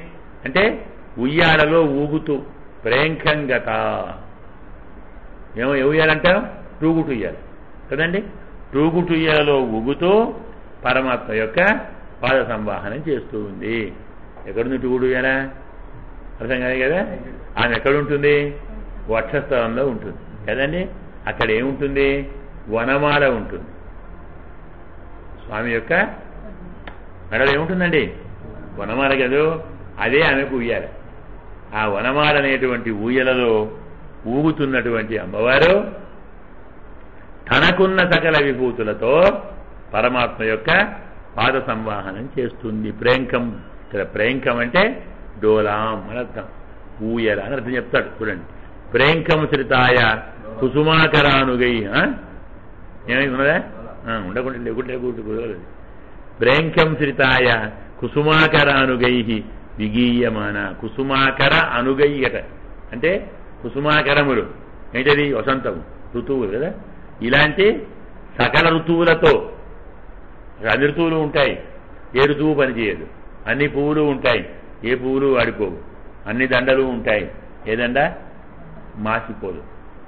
కాబట్టి ఇవి అలాంటి వాటి చేత కుసుమాకరానుగై విగీయమాన. అంటే తుమ్మెదల చేత గానము చేయబడుతూ అంటాడు. అన్ని ఋతువులతో అన్ని ఋతువులలో ఏర్పడిన పుష్పముల యొక్క సుగంధములకు ఆశపడిన తుమ్మెదని ఒక అర్థం. అమ్మవారి కళ్ళు పద్మాలే అమ్మవారి పాదములు పద్మాలే అమ్మవారి ముఖమే పద్మం కదండి. ఈ ముఖ పద్మాన్ని చూచి ఇక్కడ కాసేమంతా మకరందం దొరుకుతుందేమో అని ఆశతోటి తుమ్మెదలన్నీ ఆమె ముఖం చుట్టూ తిరుగుతూ ఉంటాయి. అలా తిరుగుతున్న తుమ్మెదల చేత గానము చేయబడుతున్న అమ్మవారు స్వామి యొక్క పాదములను సంవాహనం చేస్తూ ఉంది. ప్రేంకంశ్రితాయ కుసుకుమ కుసుమాకరానుగై విగీయమాన ప్రియకర్మ గీయతే. ఇలా ఈమె తాను వాటి గానం చేయబడుతూ తాను తన ప్రియుని యొక్క లీలను అవతారాలను గానం చేస్తూ ఉంటుంది. గాయతి దదర్శ తత్ర అఖిల సాత్వతాం పతిం శ్రియపతిం యజ్ఞపతిం జగత్పతిం. ఇవన్నీ చూచిన తరువాత అప్పుడు మన బ్రహ్మగారు ఎవరిని చూశారు? శ్రియపతి యజ్ఞపతి జగత్పతి పతిం గతీనామపి అంటాడు. ఈ రీతిలో సునందనంద ప్రవలార్హనాదిభి స్వపాఠముఖ్యై పరిసేవితం విభుం. ద్వారపాలకులు నిత్యసూరులు ఇలాంటి వారి చేత చుట్టూ ఉండి ఆరాధించబడేటువంటి ఆ పరమాత్మను చూచాడు సునంద. భృత్యప్రసాదాభిముఖం అభిముఖం ప్రసన్న ప్రసన్నహాసారుణ లోచనాననం కిరీటినం కుండలినం చతుర్భుజం పీతాంబరం వక్షసి లక్షితం శ్రియా. పరమాత్మ యొక్క దివ్య మంగళ విగ్రహ సౌందర్యాన్ని తనివి తీరా వర్ణిస్తారు వ్యాసుడు కానీ పోతన కానీ స్వామి వచ్చాడంటే ఒక శ్లోకం చెప్పి ఊరుకోడు. పది శ్లోకాలు చెప్పేస్తాడు. పరవశం ఆనందంలో. వనమాల పీతాంబరము శ్రీవత్సము అలాగే కౌస్తుభము ఇలాంటి వాటితో ప్రకాశిస్తున్నటువంటి వాడు. యుక్తం భగై స్వై ఇతరత్ర అధ్రువై భగములన్నీ ఆయన చుట్టూ ఉన్నాయట. భగములంటే ఏమిటి? మనం చెప్పిన జ్ఞాపకం ఉందా? జ్ఞాన శక్తి బల ఐశ్వర్య వీర్య తేజాంసి షాడ్గుణ్యమునకు షణ్ణాం భగ ఇతి ఈరణ. ఈ ఆరింటికి పేరు భగము అంటారు. భగైహి. అంటే జ్ఞాన శక్తి బల ఐశ్వర్య వీర్య తేజస్సులు రూపు దాల్చి స్వామిని సేవిస్తున్నాయి. ఇవి ఇక్కడ కాక మరొక తోటికి వెళితే చెంచలములు మనందరికీ ఉన్నాయి కదా? మన జ్ఞానం లేదా? మనకు శక్తి ఉంది మనకు జ్ఞానం ఉంది మనకు ఏదో పరాక్రమం ఉంది బలం ఉంది ఐసు అన్నీ ఉన్నాయి మనకు. కానీ ఉన్నాయి కానీ మనకి డోడు కనబడగా కదా? అందుకోసమని ఇది అన్యత్రచ చెంచలై అంటాడు అధ్రువై స్వదేవ ధామన్ రమమానవీశ్వరం. ఇలాంటి తన ధామంలో తన నివాసంలో ఆనందంగా వేయించేసి ఉన్నటువంటి పరమాత్మను సేవించి తద్దర్శనాహ్లాద పరిపృతాంతర కృష్యత్తను ప్రేమ పరాశ్రులోచన ననామ పాదాంబుజమస్య విశ్వసృకు యత్ పార్మహంస్యేన పథ అధిగమ్యతే. పరమాత్మ యొక్క దివ్య మంగళ విగ్రహ సౌందర్యాన్ని చూచినందువల్ల కరిగిన సంతోషంతో పులకింతలు ఒంటి నిండా కనిపించగా ప్రేమపర అశ్రులోచన భక్తితో ఆనంద బాష్పములు కనుల నిండా నిండి ఉండి ననామ పాదాంబుజం అతని పాదపద్మములకు నమస్కారం చేశాడు. ఎత్తు పారమహంసేన పద అధిగమ్యతే. ఈ పరమాత్మ పాదాలు దొరకాలంటే పరమహంస మార్గము అనుసరించాలి కదా. అంటే సన్యాసమును పరివ్రాజకత్వమును జ్ఞాన మార్గమును.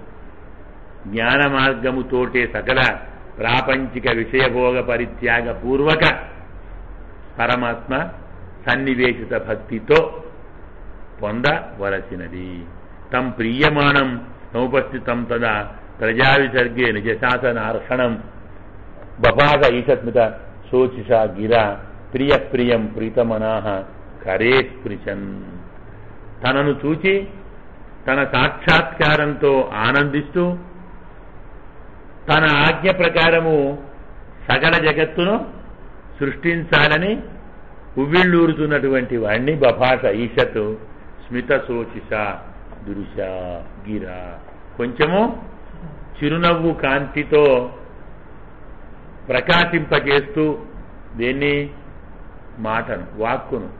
వాక్కుకు అలంకారం వేశాడండి హారం వేశాడు వాక్కు మెళ్ళో. ఏమిటి హారం అంటే? చిన్న చిరునవ్వు.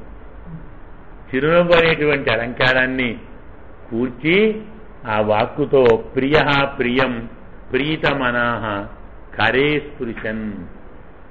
అతను తనకు ప్రియుడు నచ్చినవాడు ప్రీతిపాత్రుడు. మనం ప్రీతిపాత్రుడైతే ఏం చేస్తాము? ఏమి హ్యాండ్? షేక్ హ్యాండ్ కదా.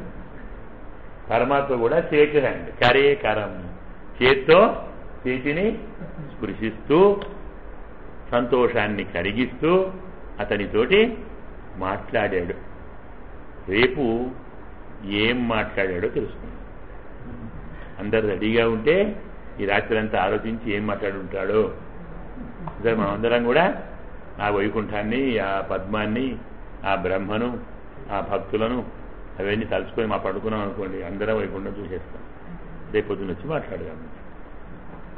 స్వస్తి ప్రజాభ్య పరిపాలయంతాం. న్యాయేన మార్గేణ మహీం మహీష గోబ్రాహ్మణేభ్య శుభమస్తు నిత్యం. లోకా సమస్తా సుఖినో భవంతు. అస్మద్ గురుభ్యో నమ. ఇక రేపు చతుశ్లోకి భాగవతంబు వచ్చును. అది చతుశ్లోకి భాగవతం అంటే మరి మీరంతా ఏం చేస్తారో చూడండి వ్యాస భగవాను సుఖ భగవాను